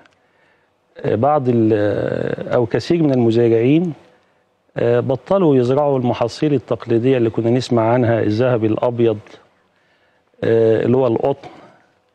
لأن أنا تكلفة الإنتاج بالأسعار العالمية وشراء المحصول بأسعار متدنية جدا فده بيخلي بدأ ال- الفلاح آه، الفلاح غير المالك الأرض الزراعية تعبان جدا دلوقتي ويجب أن يعاد النظر في هذه المنظومة منظومة الزراعة بالنسبة للفلاح. أنا طبعا مش الري مش متوفر. في بعض الأماكن آه ما فيهاش ما بيوصلهاش مياه آه، الري دي طبعا آه، آه، يجب تبقى في حلول فعلية وفي حلول أكيدة لحل هذه المشكلة. وفي أراضي للاستصلاح. بياخدوها الناس في بني سويف آه، آه، هل هي ميسرة بالنسبة لهم ولا إجراءاتها تحتاج هو بيوصلها؟ للشباب بس تكلفة الإصلاح نفسها عالية تكلفة الإصلاح يعني دي. مسألة بقى بتحتاج لتشريعات آه التشريعات سواء آه. عمل آه، آه،. يعني المصانع إنها تاخد العمالة من آه. بني سويف. أو بالنسبة للأراضي الزرا- الزراعية اللي بتستصلح آه. كل ده محتاج لتشريعات آه. هل عين حضرتك وأنت داخل للبرلمان على دورك الرقابي والتشريعي ده دور الأساسي. ده دورك آه الأساسي. دور البرلماني الدور الأساسي. بتعتبر إن ده دور البرلماني الأساسي قبل دوره الأساسي، الخدمي. آه المراقبة والتشريع. التشريع والمراقبة. بس برضه في مفهوم المراقبة هنا مراقبة الحكومة وليس تعطيلها. يعني مراقبة الحكومة مع دفع الحكومة لصالح مصر ولصالح أبناء مصر.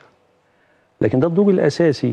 وإن كان في دور أولي إن كان في دور ثانوي آه، ما زا- ما زال في ذهن الناس ومتواجد عشان برضه نبقى بنتكلم ب- بشفافية.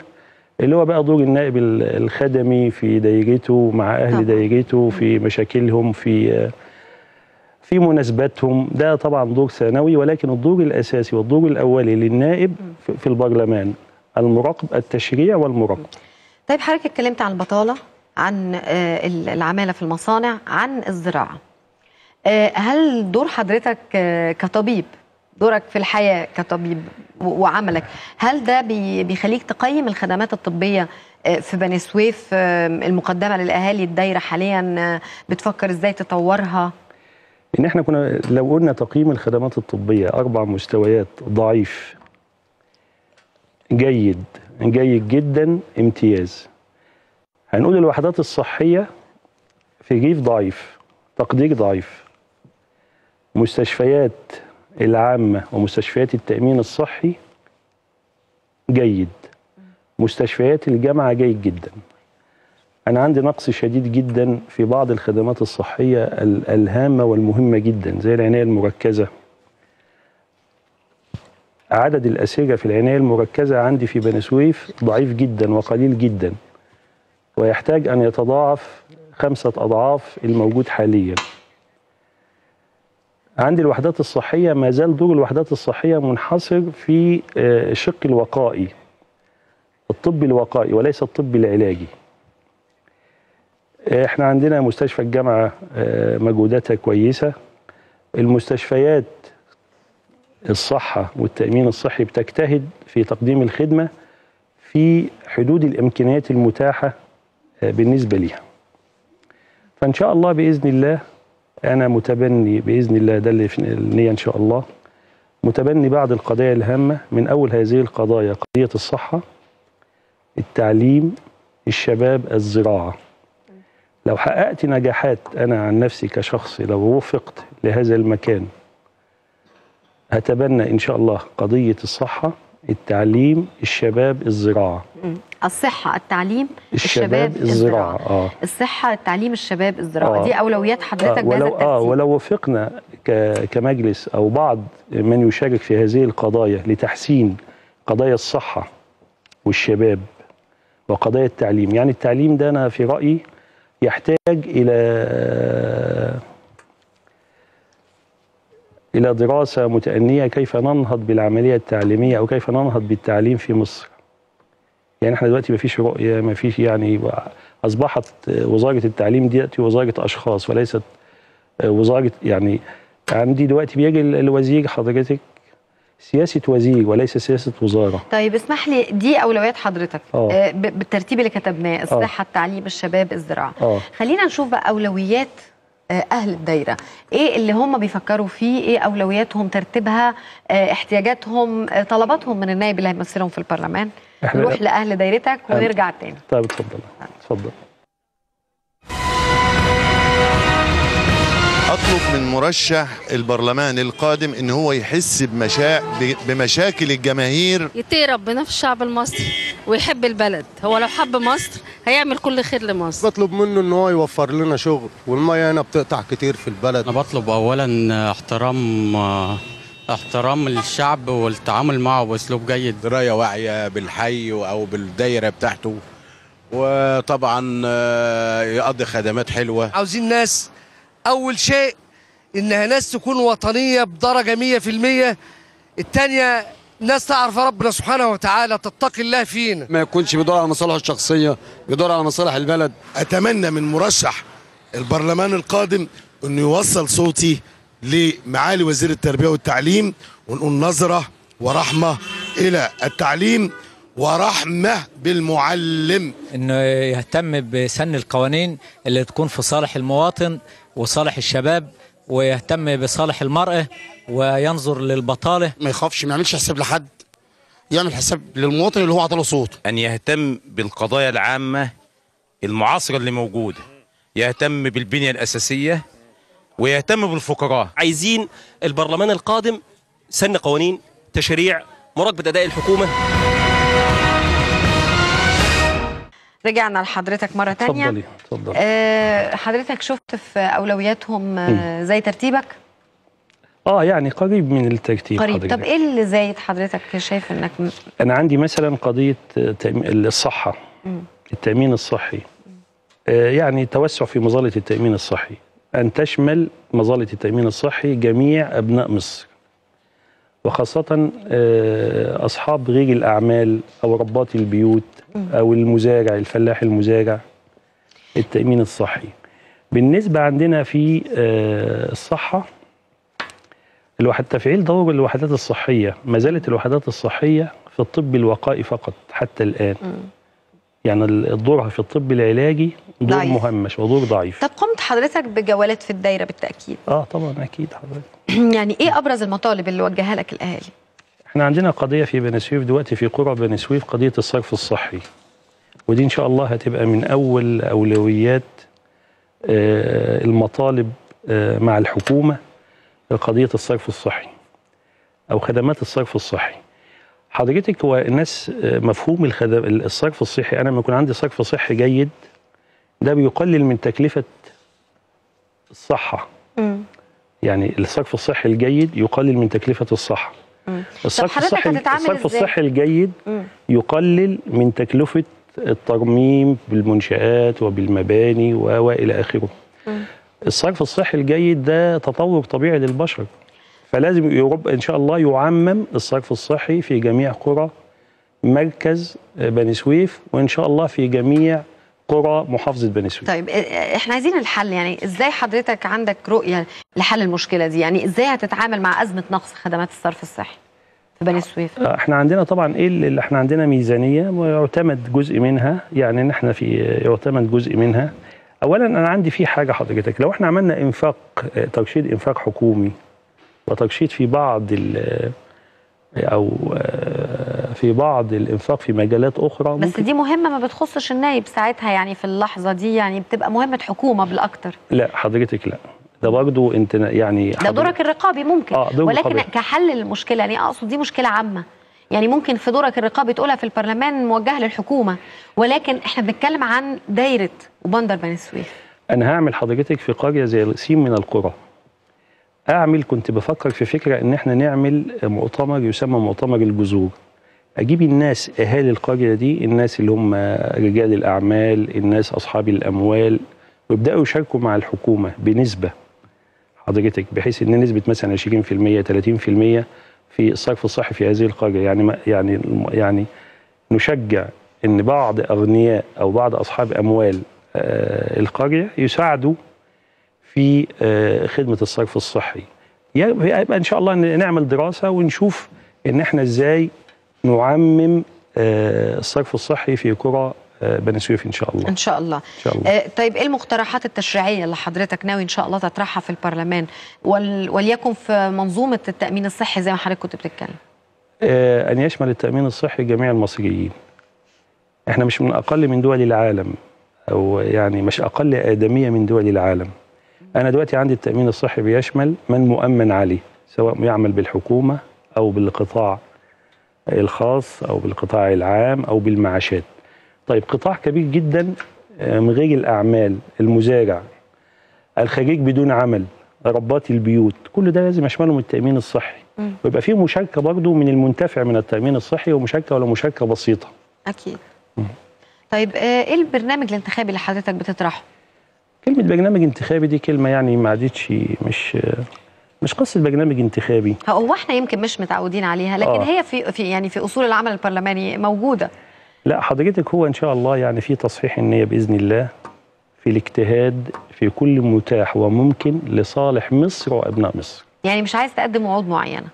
آه، مش هو حضرتك مش وعود. إحنا بنيجي نجيب كلام وبنرفع بسقف التفاؤل قوي مع المواطن. نقعد نكتب كلام وتلاقي كلام معاد و... و... لا الحاجات اللي بتنوي آه. فعلا ولكن أنا- عملها آه. اللي حضرتك عملت لها دراسات ومن حكم خبرتك سبع سنين في آه. مجلس الشورى أنا عندي عارف أنا عندي الوصول الدراسات.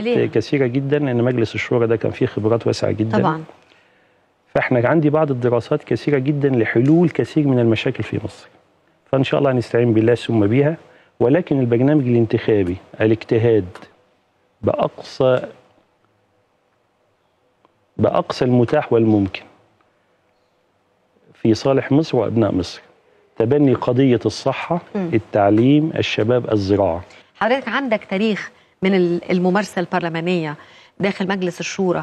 حضرتك عينك أكيد بتلاحظ. هنبدأ نسأل حضرتك الأول. مم. يعني, إيه مثلاً- اللي- إيه حضرتك دلوقتي شايفه مشكلة عايز يعني تسأل فيه أنا وزير التعليم عند عايز عند عند المجلس لجان. خدت بال حضرتك في لجنة الصحة مثلا. إن شاء الله إن قدر لي هذا الأمر أبقى في لجنة الصحة بصفتي كعمل كطبيب ومع ومشارك مع اللجان الأخرى ولكن مثلا في لجنة الصحة هنقعد نقول في لجنة الصحة إحنا مشاكلنا واحد اثنين ثلاثة كيف تحل وكيف تحل يعني عندي مشاكل عايزه آه، يعني ما عندكش حاليا استجوابه أو طلب احاطه أو سؤال لا. عايز توجهه لا. لأحد الوزراء. مستني تدخل البرلمان علشان هو. هو يمكن الحاجة الوحيدة بس اللي حضرتك سؤالين سؤال لوزير الصحة ثلاث أسئلة. سؤال لوزير الصحة. ليه تدني الخدمات الطبية في بني سويف وخاصة والتاني والتالت سريعا عشان خلاص انتهى. المركزة. مم. السؤال الثاني للتعليم. كثافات الفصول عالية جدا في بني سويف نقص شديد في المعلمين. الثالث السؤال الثالث آه، ارتفاع تكلفة الإنتاج في الزراعة وتدني أسعار المحاصيل. أشكرك جدا دكتور أبو الخير عبد. السميع نتمنى لك. التوفيق وإن شاء. الله ربنا يمكنك من خدمه. اهالي دايرتك. وبشكرك جدا مرشحا عن حزب الوفد عن دايرة بندر ومركز بني سويف. آه، دكتور أبو الخير عبد السميع بشكرك جدا يا دكتور وبشكركم. مشاهدينا لحسن المتابعة نلقاكم غدا في نفس الموعد حتى حين موعد لقائنا دمتم بخير شكرا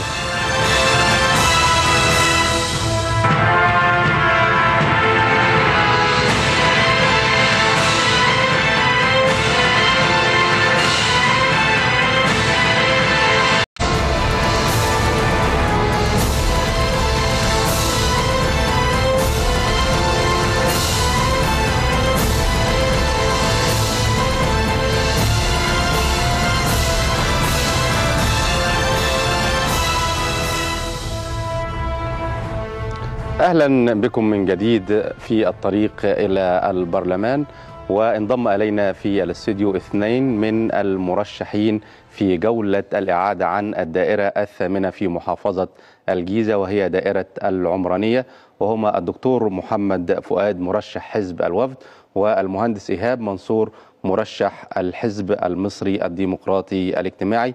فاهلا بكما وتمنيتنا إن شاء الله لكما بالتوفيق في جولة الاعاده ونبدأ بالسؤال آه، للمهندس آه، يعني آه، إيهاب منصور مرشح الحزب الديمقراطي الاجتماعي. ليه يا دكتور يا باشمهندس اخترتوا التحالف مع بعضكم في جولة الاعاده عشان النتيجة اللي أفرزتها الجولة الأولى أنكم دكتور محمد هو رقم واحد حصولا على الأصوات وحضرتك رقم اثنين هو الحقيقة الحزب الوفد حزب عريق وله تاريخ وأصالة آه، مش محتاجين نتكلم عليها يعني. صحيح. الحزب المصري الديمقراطي آه، وجد أن الحزب آه، الوفد أقرب الموجودين على الساحة الحقيقة وحزب محترم جدا وكذلك شخصية الدكتور محمد. فكان طبيعي التلاقي في نقطة التحالف في هذه المرحلة.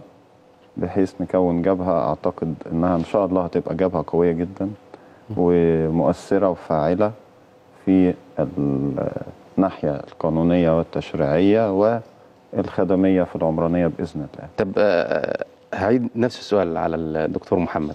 يعني قرار التحالف هو هل قرار شخصي أم قرار آه، اتفقت عليه يعني الهيئة العليا للحزبين حزب الوفد والحزب المصري الديمقراطي الاجتماعي. هو تم هو تم بالفعل مناقشة هذا هذا التحالف والاتفاق في الهيئة العليا للحزب.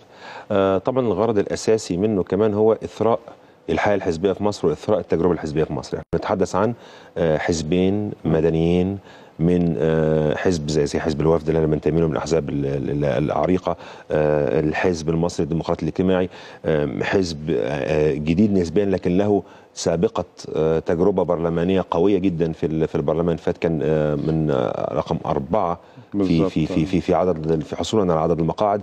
فهو حزب يعني رغم حداثته حزب مخضرم.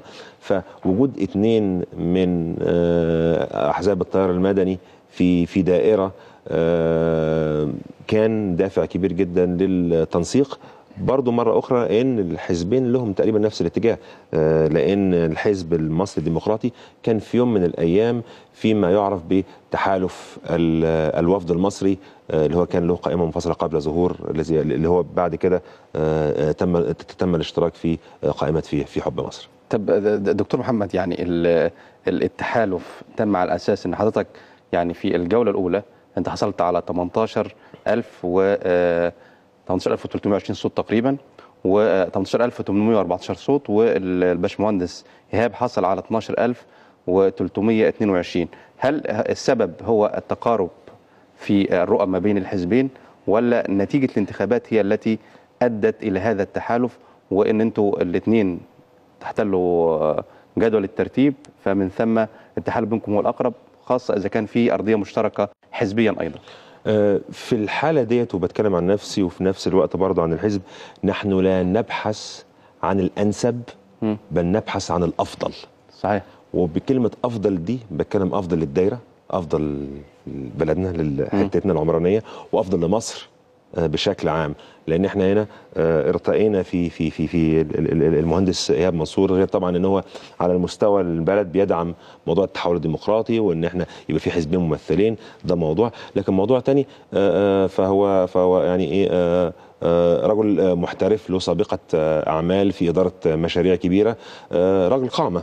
يعني إيه يصلح أن يمثل هذه الدائرة. ما هوش جاي في نزهة خلوية ولا رجل أعمال فعايز ياخد آه، حاجة تانية أو آه، بلغ سن التقاعد فعايز يعمل حاجة يتسلى فيها. لكن هو رجل شغال موجود على على أرض الواقع يقدر يخدم المكان. آه، نحب إن إحنا نشوف أمثال هذه الشخصيات موجودة داخل البرلمان. طب بطريقة أخرى باشمهندس إيهاب يعني هل التحالف ما بينكم هو تحالف من أجل اجتياز جولة الاعاده إن شاء الله والوصول إلى آه، المجلس النواب الجديد أم أن هذا التحالف مع الدكتور آه، محمد فؤاد وحزب الوفد سيستمر بعد إن شاء الله الوصول إلى البرلمان؟ الحقيقة ده المفروض اللي يبقى موجود إن شاء الله ده بداية لتعاون لأن إحنا في النهاية عايزين نخدم بلدنا ونخدم الناس اللي وثقوا فينا وادونا الأصوات الدكتور واخد أعلى الأصوات وأنا التاني. فإحنا نفسنا نخدم بلدنا بجد ونعمل تجربة جديدة إيه، تجربة فريدة بإذن الله تبقى في العمرانية. الشباب والشباب الحقيقة كان في المرحلة الأولانية رغم إن بيتقال الشباب في عموم مصر كلها ما بينزلش واللجان فاضية لكن أنا أتخيل وأتصور من واقع اللي شفته في اللجان إن الشباب كان ليه دور مؤثر. آه، نتمنى إن هو يزيد لكنه كان أعتقد كده وفي رأيي إن هو كان أفضل من دوائر كثيرة جدا آه، في مصر. فدي بداية التعاون وإن شاء الله تستمر ل آه، الفترات القادمة. طب دكتور محمد المهندس إيهاب اتكلم على المشاركة ومشاركة الشباب. يعني نسبة المشاركة في دائره العمرانية يعني وفقا للجنه العليا للانتخابات وصلت إلى 18 و32 من 100 تقريبا تمام. تحديدا. يعني إيه ال ال ال الأعمال والإجراءات اللي اتخذتوها في خلال فترة الدعاية هذه الدعاية لا تتعدى أسبوع استعدادا لجولة العادة من أجل ناحية تحفيز الشباب أو جميع أبناء الدائره والناخبين على التوجه إلى صناديق الاقتراع. آه، إيه شكل الدعاية؟ أنتم معاكم اثنين تاني مرشحين ومرشحين مستقلين. يعني هل أيضا حجم الإنفاق يعني كيف هو؟ هل أنتم استطعتم أن تجاروا ال- المرشحين التانيين في الدعاية والإنفاق في خلال هذه الفترة القصيرة؟ مش هقول الفترة الجولة الأولى يعني. بنحاول. نعم. لكن لكن يعني آه ليس كل ما يبغي المرء يدركه ولكن كل ما يتمناه المرء يدركه آه. لكن في الآخر يعني في الآخر خلينا نتكلم على الجزء الأولاني اللي هو الخاص بالمشاركة في الاعمال الانتخابية. طبعا شايفين إن إحنا آه، النسبة الأولانية آه، كان طبعا متوقع إنها تبقى أعلى من كده لكن خلينا نقول صراحة ما كانتش صادمة بالنسبة لنا ما قلناش إيه ده اللي بيحصل ده يعني كان مم. النسبة طبيعيه متوقعة؟ جدا م- م- مت... يعني يعني كنا نتوقع حتى في في قبل الانتخابات آه، كنا نتكلم في 20 25% طبعا أقل شوية من من التوقعات لكن هي لها لها تفسيرات كثيره منطقية يعني. آه، طب دون الخوض في تفسيراتها يعني كيف كيف نستطيع أن أن؟ نرفع هذه النسبة؟ ما هو ما هو اذا إذا عرفنا سببها نعرف أن نتخطاها. طبعا. خلينا نقول إيه؟ إن في بعض الأسباب الخاصة بالناس ال- بالناس اللي حوالينا اللي إحنا بالفعل فوجئنا أو مثلا حصرنا أنهي مناطق الناس ما بتطلعش فيها ما طلعوش ليه؟ الشرائح العمرانيه ما طلعتش. آه لما بنتكلم حتى في الندوات والجولات بسأل كل واحد صوتت قبل كده ولا ما صوتتش ليه؟ وابتدي أعرف الأسباب. نبتدي نحصر ونبتدي مرة أخرى نحث الناس إن هي تبتدي تنزل وتشارك. يعني كنت دايما في قصة كنت حكيتها حتى قريب في أحد اللقاءات. كنت بتكلم على ان أنا ماشي في أحد الشوارع الجميلة اللي عندنا اسمه شارع التعمير. شباب قاعد على الشمال على باب محل وبتاع فشافوني بنحبك يا دكتور. هتنجح يا دكتور. قلت لهم أنت صوتت يا ابني. قال لي لا. له هنجح إزاي؟ وانت قاعد فيعني أنا عارف يعني ال- النية موجودة الشباب متجاوب وكل حاجة آه. بس عايز إيه؟ عايز إن إحنا يعني عاوز. وسيله مواصلات مثلا لا خلاص بالعكس لا, لا, لا. بس يعني لو في يعني إيه يعني الناس يعني عايزة تحط الموضوع آه، تحط الموضوع في دماغها أكتر آه، يعني أكتر هل كده. الرسالة يعني بسأل الباشمهندس إيهاب هل الرسالة للناخب لم تصل أن صوته أصبح مرجح وصوته يؤثر على من يصل لهذا المنصب الكبير أم أنا يعني ما زال عنده عدم ثقة بسبب الإرث الطويل إن المسألة محسومة على الرغم من مثلا دايره زي دايرة عمرانيه ما فيش حزب أصلا لل- للحكومة والحكومة قالت إنها تقف على مسافة واحدة من جميع المرشحين ومع ذلك هناك من يقول الحقيقة أنا أتصور يمكن آه، أتخيل كده إن حصل إجهاد شوية للشعب في الفترة اللي فاتت في آخر أربع سنين يمكن إحنا رحنا للصناديق أكتر من الانتخاب. 10 مرات يعني. دي مرة 12. تسعة. دي آه. المرة ال آه. 12 يمكن كمان. فكتير في فترة قليلة. لكن آه، قد يكون هناك أسباب أخرى لحالة حالة من الاطمئنان للشكل العام إن آه، المرشحين يعني في بعض الناس بيقولوا بعض ان المرشحين أغلبهم نتخيل إن هم ممكن يمثلونا. وإحنا شايفين الناس اللي هي تمثلنا حظوظها عالية ومرتفعة فأنا أنا ضامن إن هو كسبان. زي مثلا مثال الدكتور قالوا عاوزينك وبنحبك طب رحت انتخبت ما انتخبت. طب رد الدكتور رد عليه رد من غيرك مش هيفوز برضه. آه طبعا. بس الحقيقة يعني الكثير من الشباب قابلني أنا شخصيا وكان العلامة المميزة اللي بيقابلني بيها صباعه في لها ال- الحبر بيقول لي آه أنا بحبك ورحت اديتك صوتي ورايح تاني اديك صوتي إن شاء الله في مرحلة الإعادة. طيب آه، من ننتقل لشريحة أخرى من الأسئلة دكتور محمد. يعني إن شاء الله بإذن الله تعالى يعني نتمنى لك أن تكون تحت قبة البرلمان بإذن الله تعالى. يعني إيه أهم الخدمات التي تعتزم أن تقدمها لأهالي آه، العمرانية؟ وأنت يعني تعيش في هذه المنطقة وتعرف مشاكلها ربما يعني إيه يعني ملامس ال- الجرح بتاع الدايره آه طبعا. إحنا خلينا نقول إن زي ما بحب أقول إن العمرانية جزء من الجيزة جزء من مصر كما فوق كما تحت هي المشاكل بتاعتها. تمس مشاكل عموم مصر. قواسم مشتركه آه. لكن ال- ال- القاسم الأساسي هو تدني الخدمات. في تراجع أساسي في الخدمات. الخدمات الأساسية المقدمة بقى من بقى إيه؟ من الطرق من الإنارة في الشوارع من القمامه من كل الحاجات الخدمات الأساسية اللي هي تقع تحت منظومة المحليات اللي هي عايزة أصلا زي ما بنقول بال- باللغة الدارجة تتفور أو يعاد يعاد تشكيلها من أول وجديد. فأنت هتشتغل نائب يعني بينما إن الكتاب بيقول إنك أنت نائب تشريعي ستظل خدمي آه، أنا أرتقي ده ممكن يبقى من فترة لسنة لسنة ونص. لذلك أنا بقول ادعموا الشباب.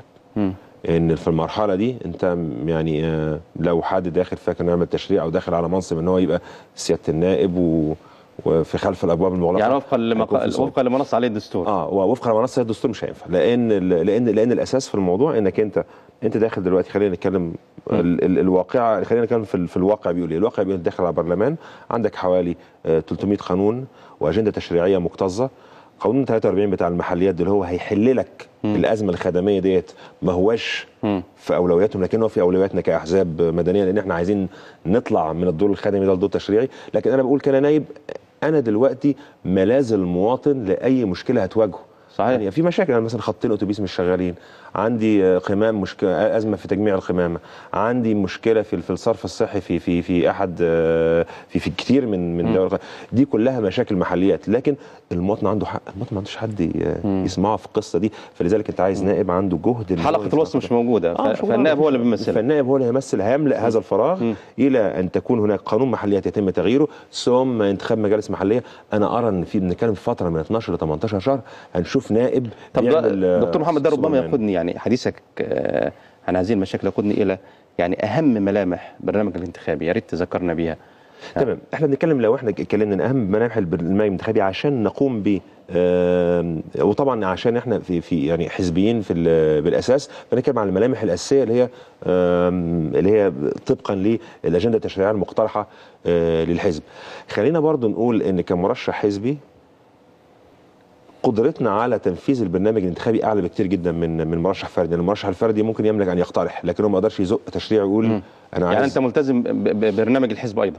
آه طبعا لحد كبير. أنا لأن أنا, أنا اختياري للتواجد مع الحزب كان بناء إن البرنامج ده الحزب ده نابع من الشارع بيخدم الناس بنتكلم قانون محليات قانون 43 بتاع التقى مع. قناعاتك ومع ما هو على الأرض فعلا. بالظبط. بنتكلم بنتكلم على ثلاث أجزاء جزء خاص بال- بالقانون المحليات اللي هو قانون 43 وإلى أن يتم هذا القانون أنا أمام دايرتي مسؤول إن أنا أكون الشخص الذي يقدم له الخدمة لأن هو بالفعل المواطن ما عندوش ملاذ آخر.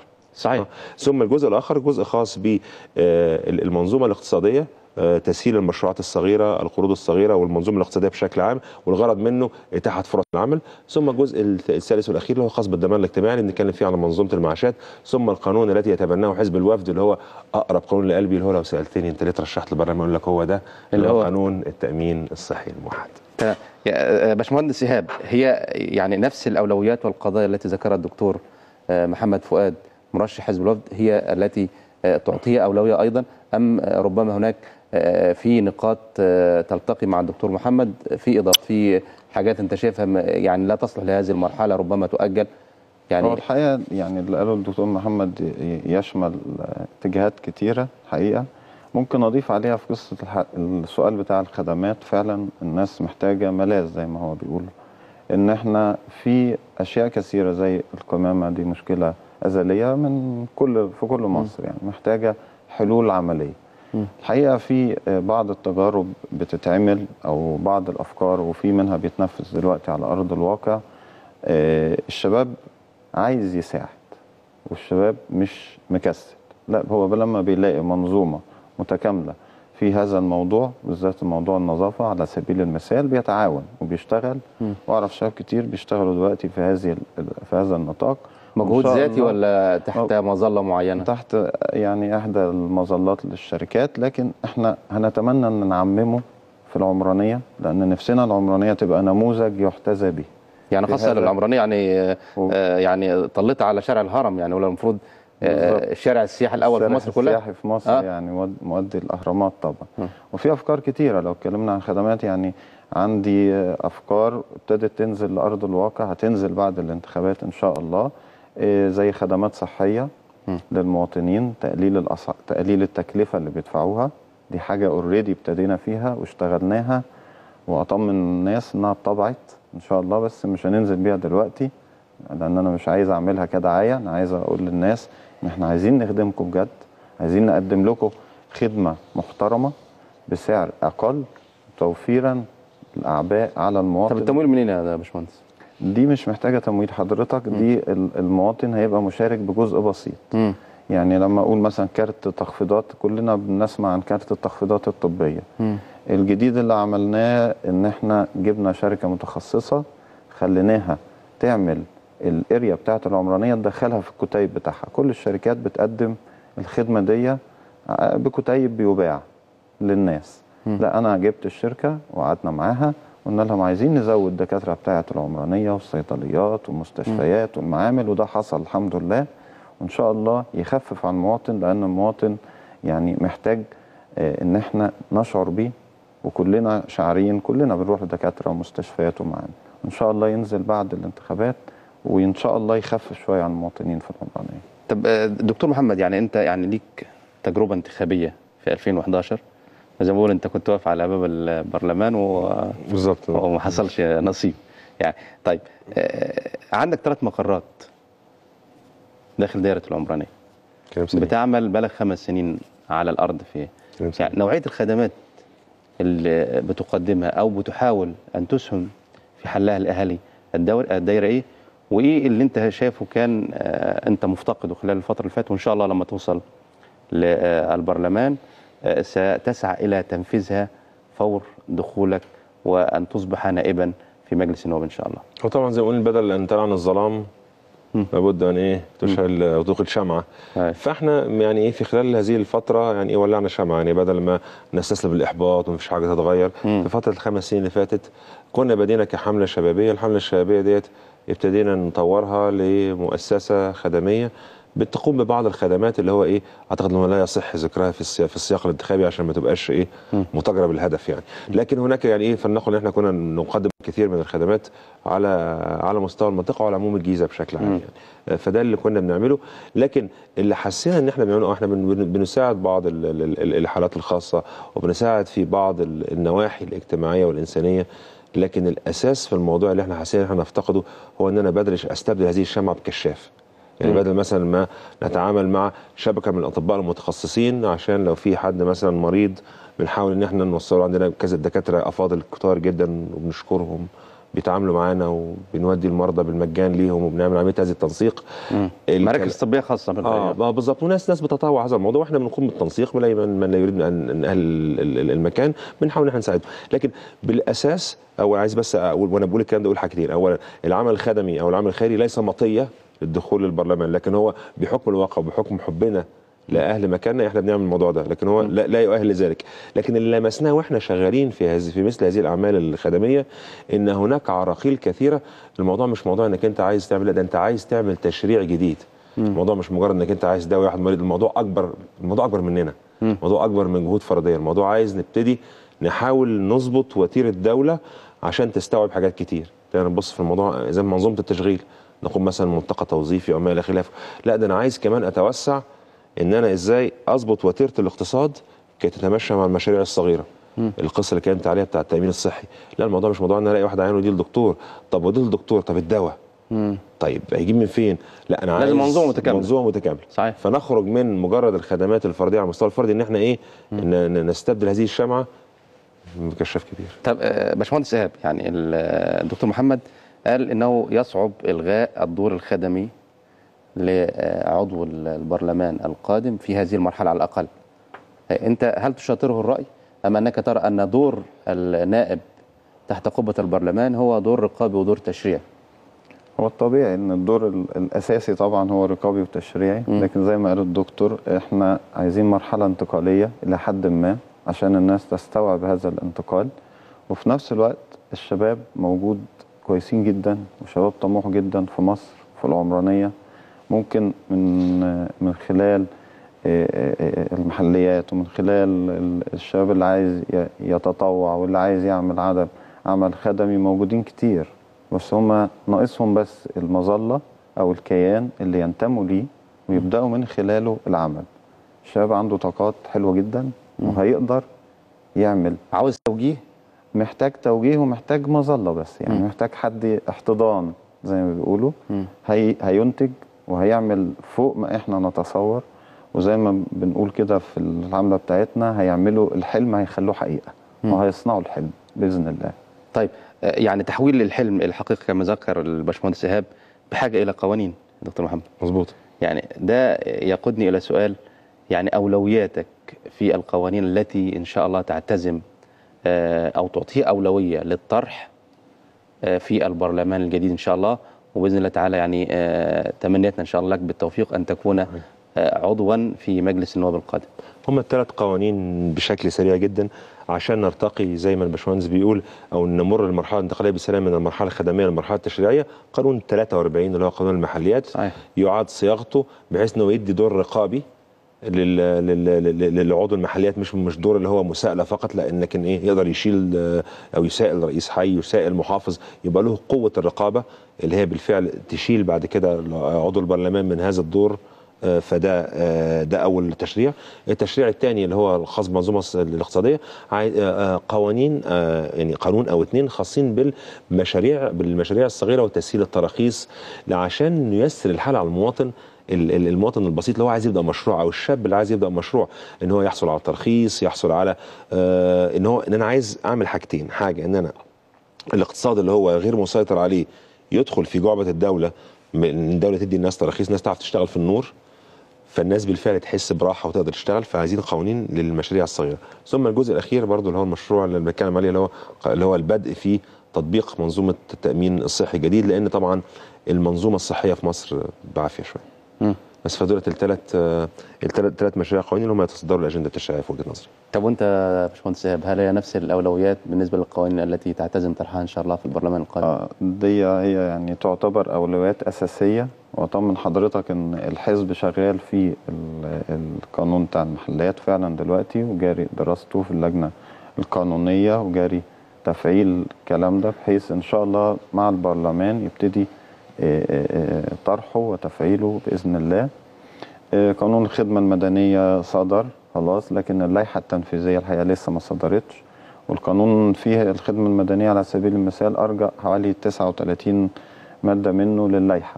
مم. ففي آه، رجعة زي ما بيقولوا كده أو خط آه، رجعة للمناة لمحاولة تدارك ما قد آه، يثير أو قد أثاروا من بعض ال- التساؤلات.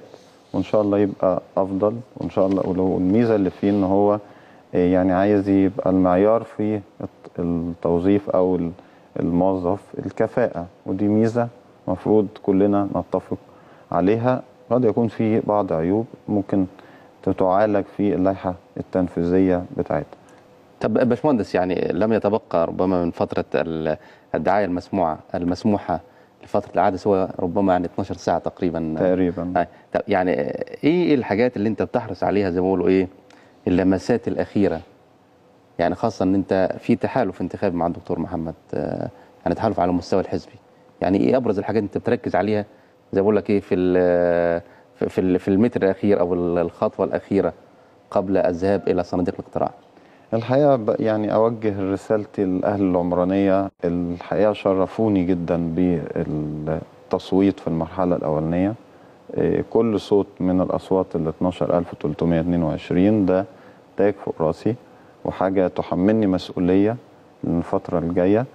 أقول لهم إحنا منتظرينكم وتشرفنا بأصواتكم وبثقتكم فينا. ندع- ندعم التحول الديمقراطي ندعم التجربة الجديدة اللي إحنا بنعملها. آه، نقول لهم آه، الحلم قرب اصنعوا الحلم اللي إحنا بنعمله سوا وهيبقى حقيقة ومنتظرينكم إن شاء الله الثلاث والأربعة. طب آه، دكتور محمد يعني الحلم وحقيقة أن يتحول يتحول الحلم إلى حقيقة دائرة العمرانية فيها تقريبا ربع مليون ناخب كلام سليم. آه. يعني تقريبا 241 حاجة زي كده. كلام كلام. حضرتك سليم بالظبط طيب. سألت الباشمهندس على إيه اللي أنت بتحرص عليه حضرتك خلال يعني دولك الأمطار الأخيرة قبل أن توجه للتصويت؟ في ناس بتحب الدكتور محمد بس آه، بتحبه كده كلام بس. مش مش هترجم ده للتصويت. إزاي يعني أنت يعني أشعلت فيها الروح؟ خلينا- والداخل والخارج أيضا. الخارج أيضا أنتوا حصلتوا على أعلى نسبة أصوات في الخارج ال ال خلينا نقول برضو إن إحنا آه، برضو الميزة إن إحنا كان وأعتقد إن نفس الموضوع بالنسبة للباشمهندس إن إحنا آه، بنشتغل من خلال حملة منظمة. يعني اللي حضرتك شايفه ده يعني حضرتك شايف العربية قدامك لكن مش شايف الموتور. يعني هناك هناك فريق يعني يجب أن يأخذ حقه. فريق من- عمل. آه، فريق عمل من الشباب اللي هم بيشاركوها نفس الحلم ده. الحلم ده مش حلم فؤاد الحلم ده مش حلم إيهاب. الحلم ده حلم شباب كتير ورانا معتمدين عليها في الموضوع ده. شايفين إن إحنا إحنا مش أنا إحنا كفريق نقدر نوصل لهذا الموضوع. لذلك كل منهم بيجتهد في طريقه. اللي بينزل اللي بيلف على القهاوي اللي بيكلم الناس اللي بيخبط الابواب اللي بيتكلم دلوقتي في التليفون اللي قاعد زمان بيترجى حد على الفيسبوك إن هو ينزل ينتخب. فهناك شعلة من الحماس لناس بالفعل عايزة تحقق حلمها عايزة توصل لحاجة. فده الأساس. ال ال الشيء الثاني اللي بنعمله إحنا بنحاول نعمل بنجري من بعض الاتصالات الأخيرة بالناس الداعمين. آه طبعا جولة ال- ال- الإعادة الف- الفترة فيها آه قليلة جدا. فترة الدعاية تقصد. آه فترة الدعاية قليلة جدا إنك أنت تعمل أي حاجة غير إنك أنت آه تبقى آه مستعد تتدارك بعض الأخطاء ال ال ال ال التي حدثت آه، قبل كده تبتدي تبص لقدام يعني ويبقى كلك كلك أمل يعني إن إحنا خلاص زي ما اللي ذاكر ذاكر. آه. يعني إحنا كل اللي بنعمله إحنا محتاج نوجه رسالة للناس. أخذت بالأسباب. آه أخذنا بالأسباب. بنوجه رسالة للناس ونقول لهم الكرة في ملعبكم ادعموا الشباب. ادعموا تحول ديمقراطي حقيقي بيحصل قدامك على أرض مصر. ما تسيبش الفرصة بعدم مشاركتك إنك إنها تيجي حاجة أنت مش عايزها وفي الآخر آه، تندم حي- حين لا ينفع الندم. فالفرصة لسه قدامنا. زي ما بيقول الباشمهندس يوم الثلاث يوم الأربعاء البرلمان الجاي أو الانتخابات الإعادة جولة الإعادة قادمه خليك مع الشباب. انتخب من تراهم أمامك غير مرتبطين بأي بأي تحزبات قبليات عصبيات لكن هم أفراد عاديين بيلجأوا لكم كمواطنين آه، عشان تقفوا جنبهم لأن هم بالتابعية هيقفوا جنبكم آه، بعد كده. بس. باشمهندس يعني يعني من خلال الحديث مع الدكتور محمد يعني قبل اللقاء وإحنا قربنا على نهاية هذا اللقاء آه، الشيق يعني آه، التركيبة السكانية العمرانية أيضا آه، لا تخلو من القبليه والعصبية والجهوية. آه، إزاي تغلبتوا عليها؟ ويعني إزاي إن شاء الله بإذن الله تعالى آه، استطعتم أن يعني الجميع يذوب في كيان واحد هو العمرانية واختيار الاكفأ زي ما بيقول الدكتور محمد؟ الحقيقة أي حتة في مصر هتلاقي حضرتك فيها أو حتت كتير مناطق كتير هتلاقي فيها قبليات وعصبيات و إيه، تغلبنا عليها لأننا من الناس منهم. يعني إحنا من الشارع ما إحناش جايين من ال- المكتب وقاعدين لا إحنا من الشارع وعايشين وسط الناس وبنقعد مع الناس طبيعيين جدا. مفيش أي اختلاف ما بيننا وما بينهم. فبالتالي طبيعي جدا يعني ما- ما هبطوش بباراشوت يعني؟ لا طبعا. آه. لكن هي الحكاية إن إحنا عايشين مع الناس وموجودين وسط الناس. القابليات آه، آه، في بعضها إدانا صوته منها وجزء تاني إدى أصوات لحد تاني تحترم كلها. لكن إحنا متواجدين مع الجميع إيدينا مفتوحة للجميع. الجميع بصراحة في العمرانية اللي إدانا صوته واللي ما إداناش في احترام رائع جدا بأشيد بيه. وبأشكر كل الأهل العمرانية كلهم. سواء اللي ادونا صوتهم أو ادوني صوتهم أو اللي ما ادونيش صوتهم لأن الحقيقة الاحترام كان سيد الموقف يعني.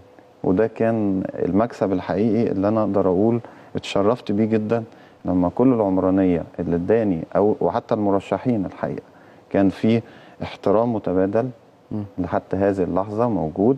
ودي حاجة آه، آه، آه، تاج على رأس العمرانية وده شيء كويس جدا. نعتز بيه لأهالينا آه، اللي موجودين في العمر واضح.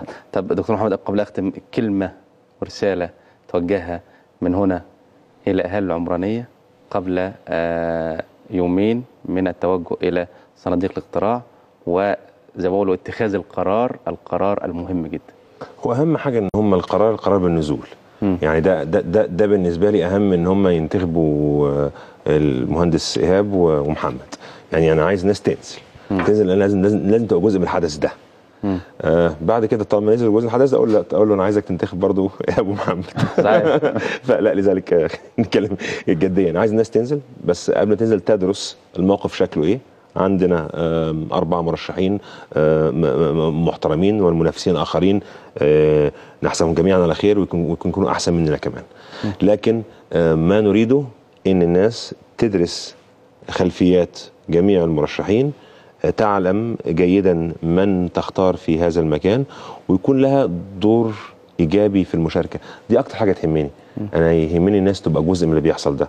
ما نبقاش إحنا لوحدنا اللي بنعيش الحلم أنا والمهندس ايهاب يبقى الناس تتبنى هذا الحلم. لأن أنا أرجع أقول مرة تانية مش إحنا لوحدنا اللي قاعدين في كتير قوي ورانا بيعيشوا نفس الحلم. فشاركونا شاركونا في حلمنا لننسى المستقبل قدام. شكرا للدكتور محمد فؤاد آه، المرشح عن دائرة العمرانية عن حزب الوفد وتمنيت لك بالتوفيق إن شاء الله في جولة العادة وتكون نائب في آه، البرلمان القادم بإذن الله تعالى. وأيضا شكرا للمهندس إيهاب منصور مرشح الحزب المصري الديمقراطي الاجتماعي وتمنيتنا لك إن شاء الله بالتوفيق وأن تصبح إن شاء الله وجهة مشرفة آه، في البرلمان القادم. وأيضا شكرا لكم مشاهدينا على هذه المتابعة وإلى اللقاء.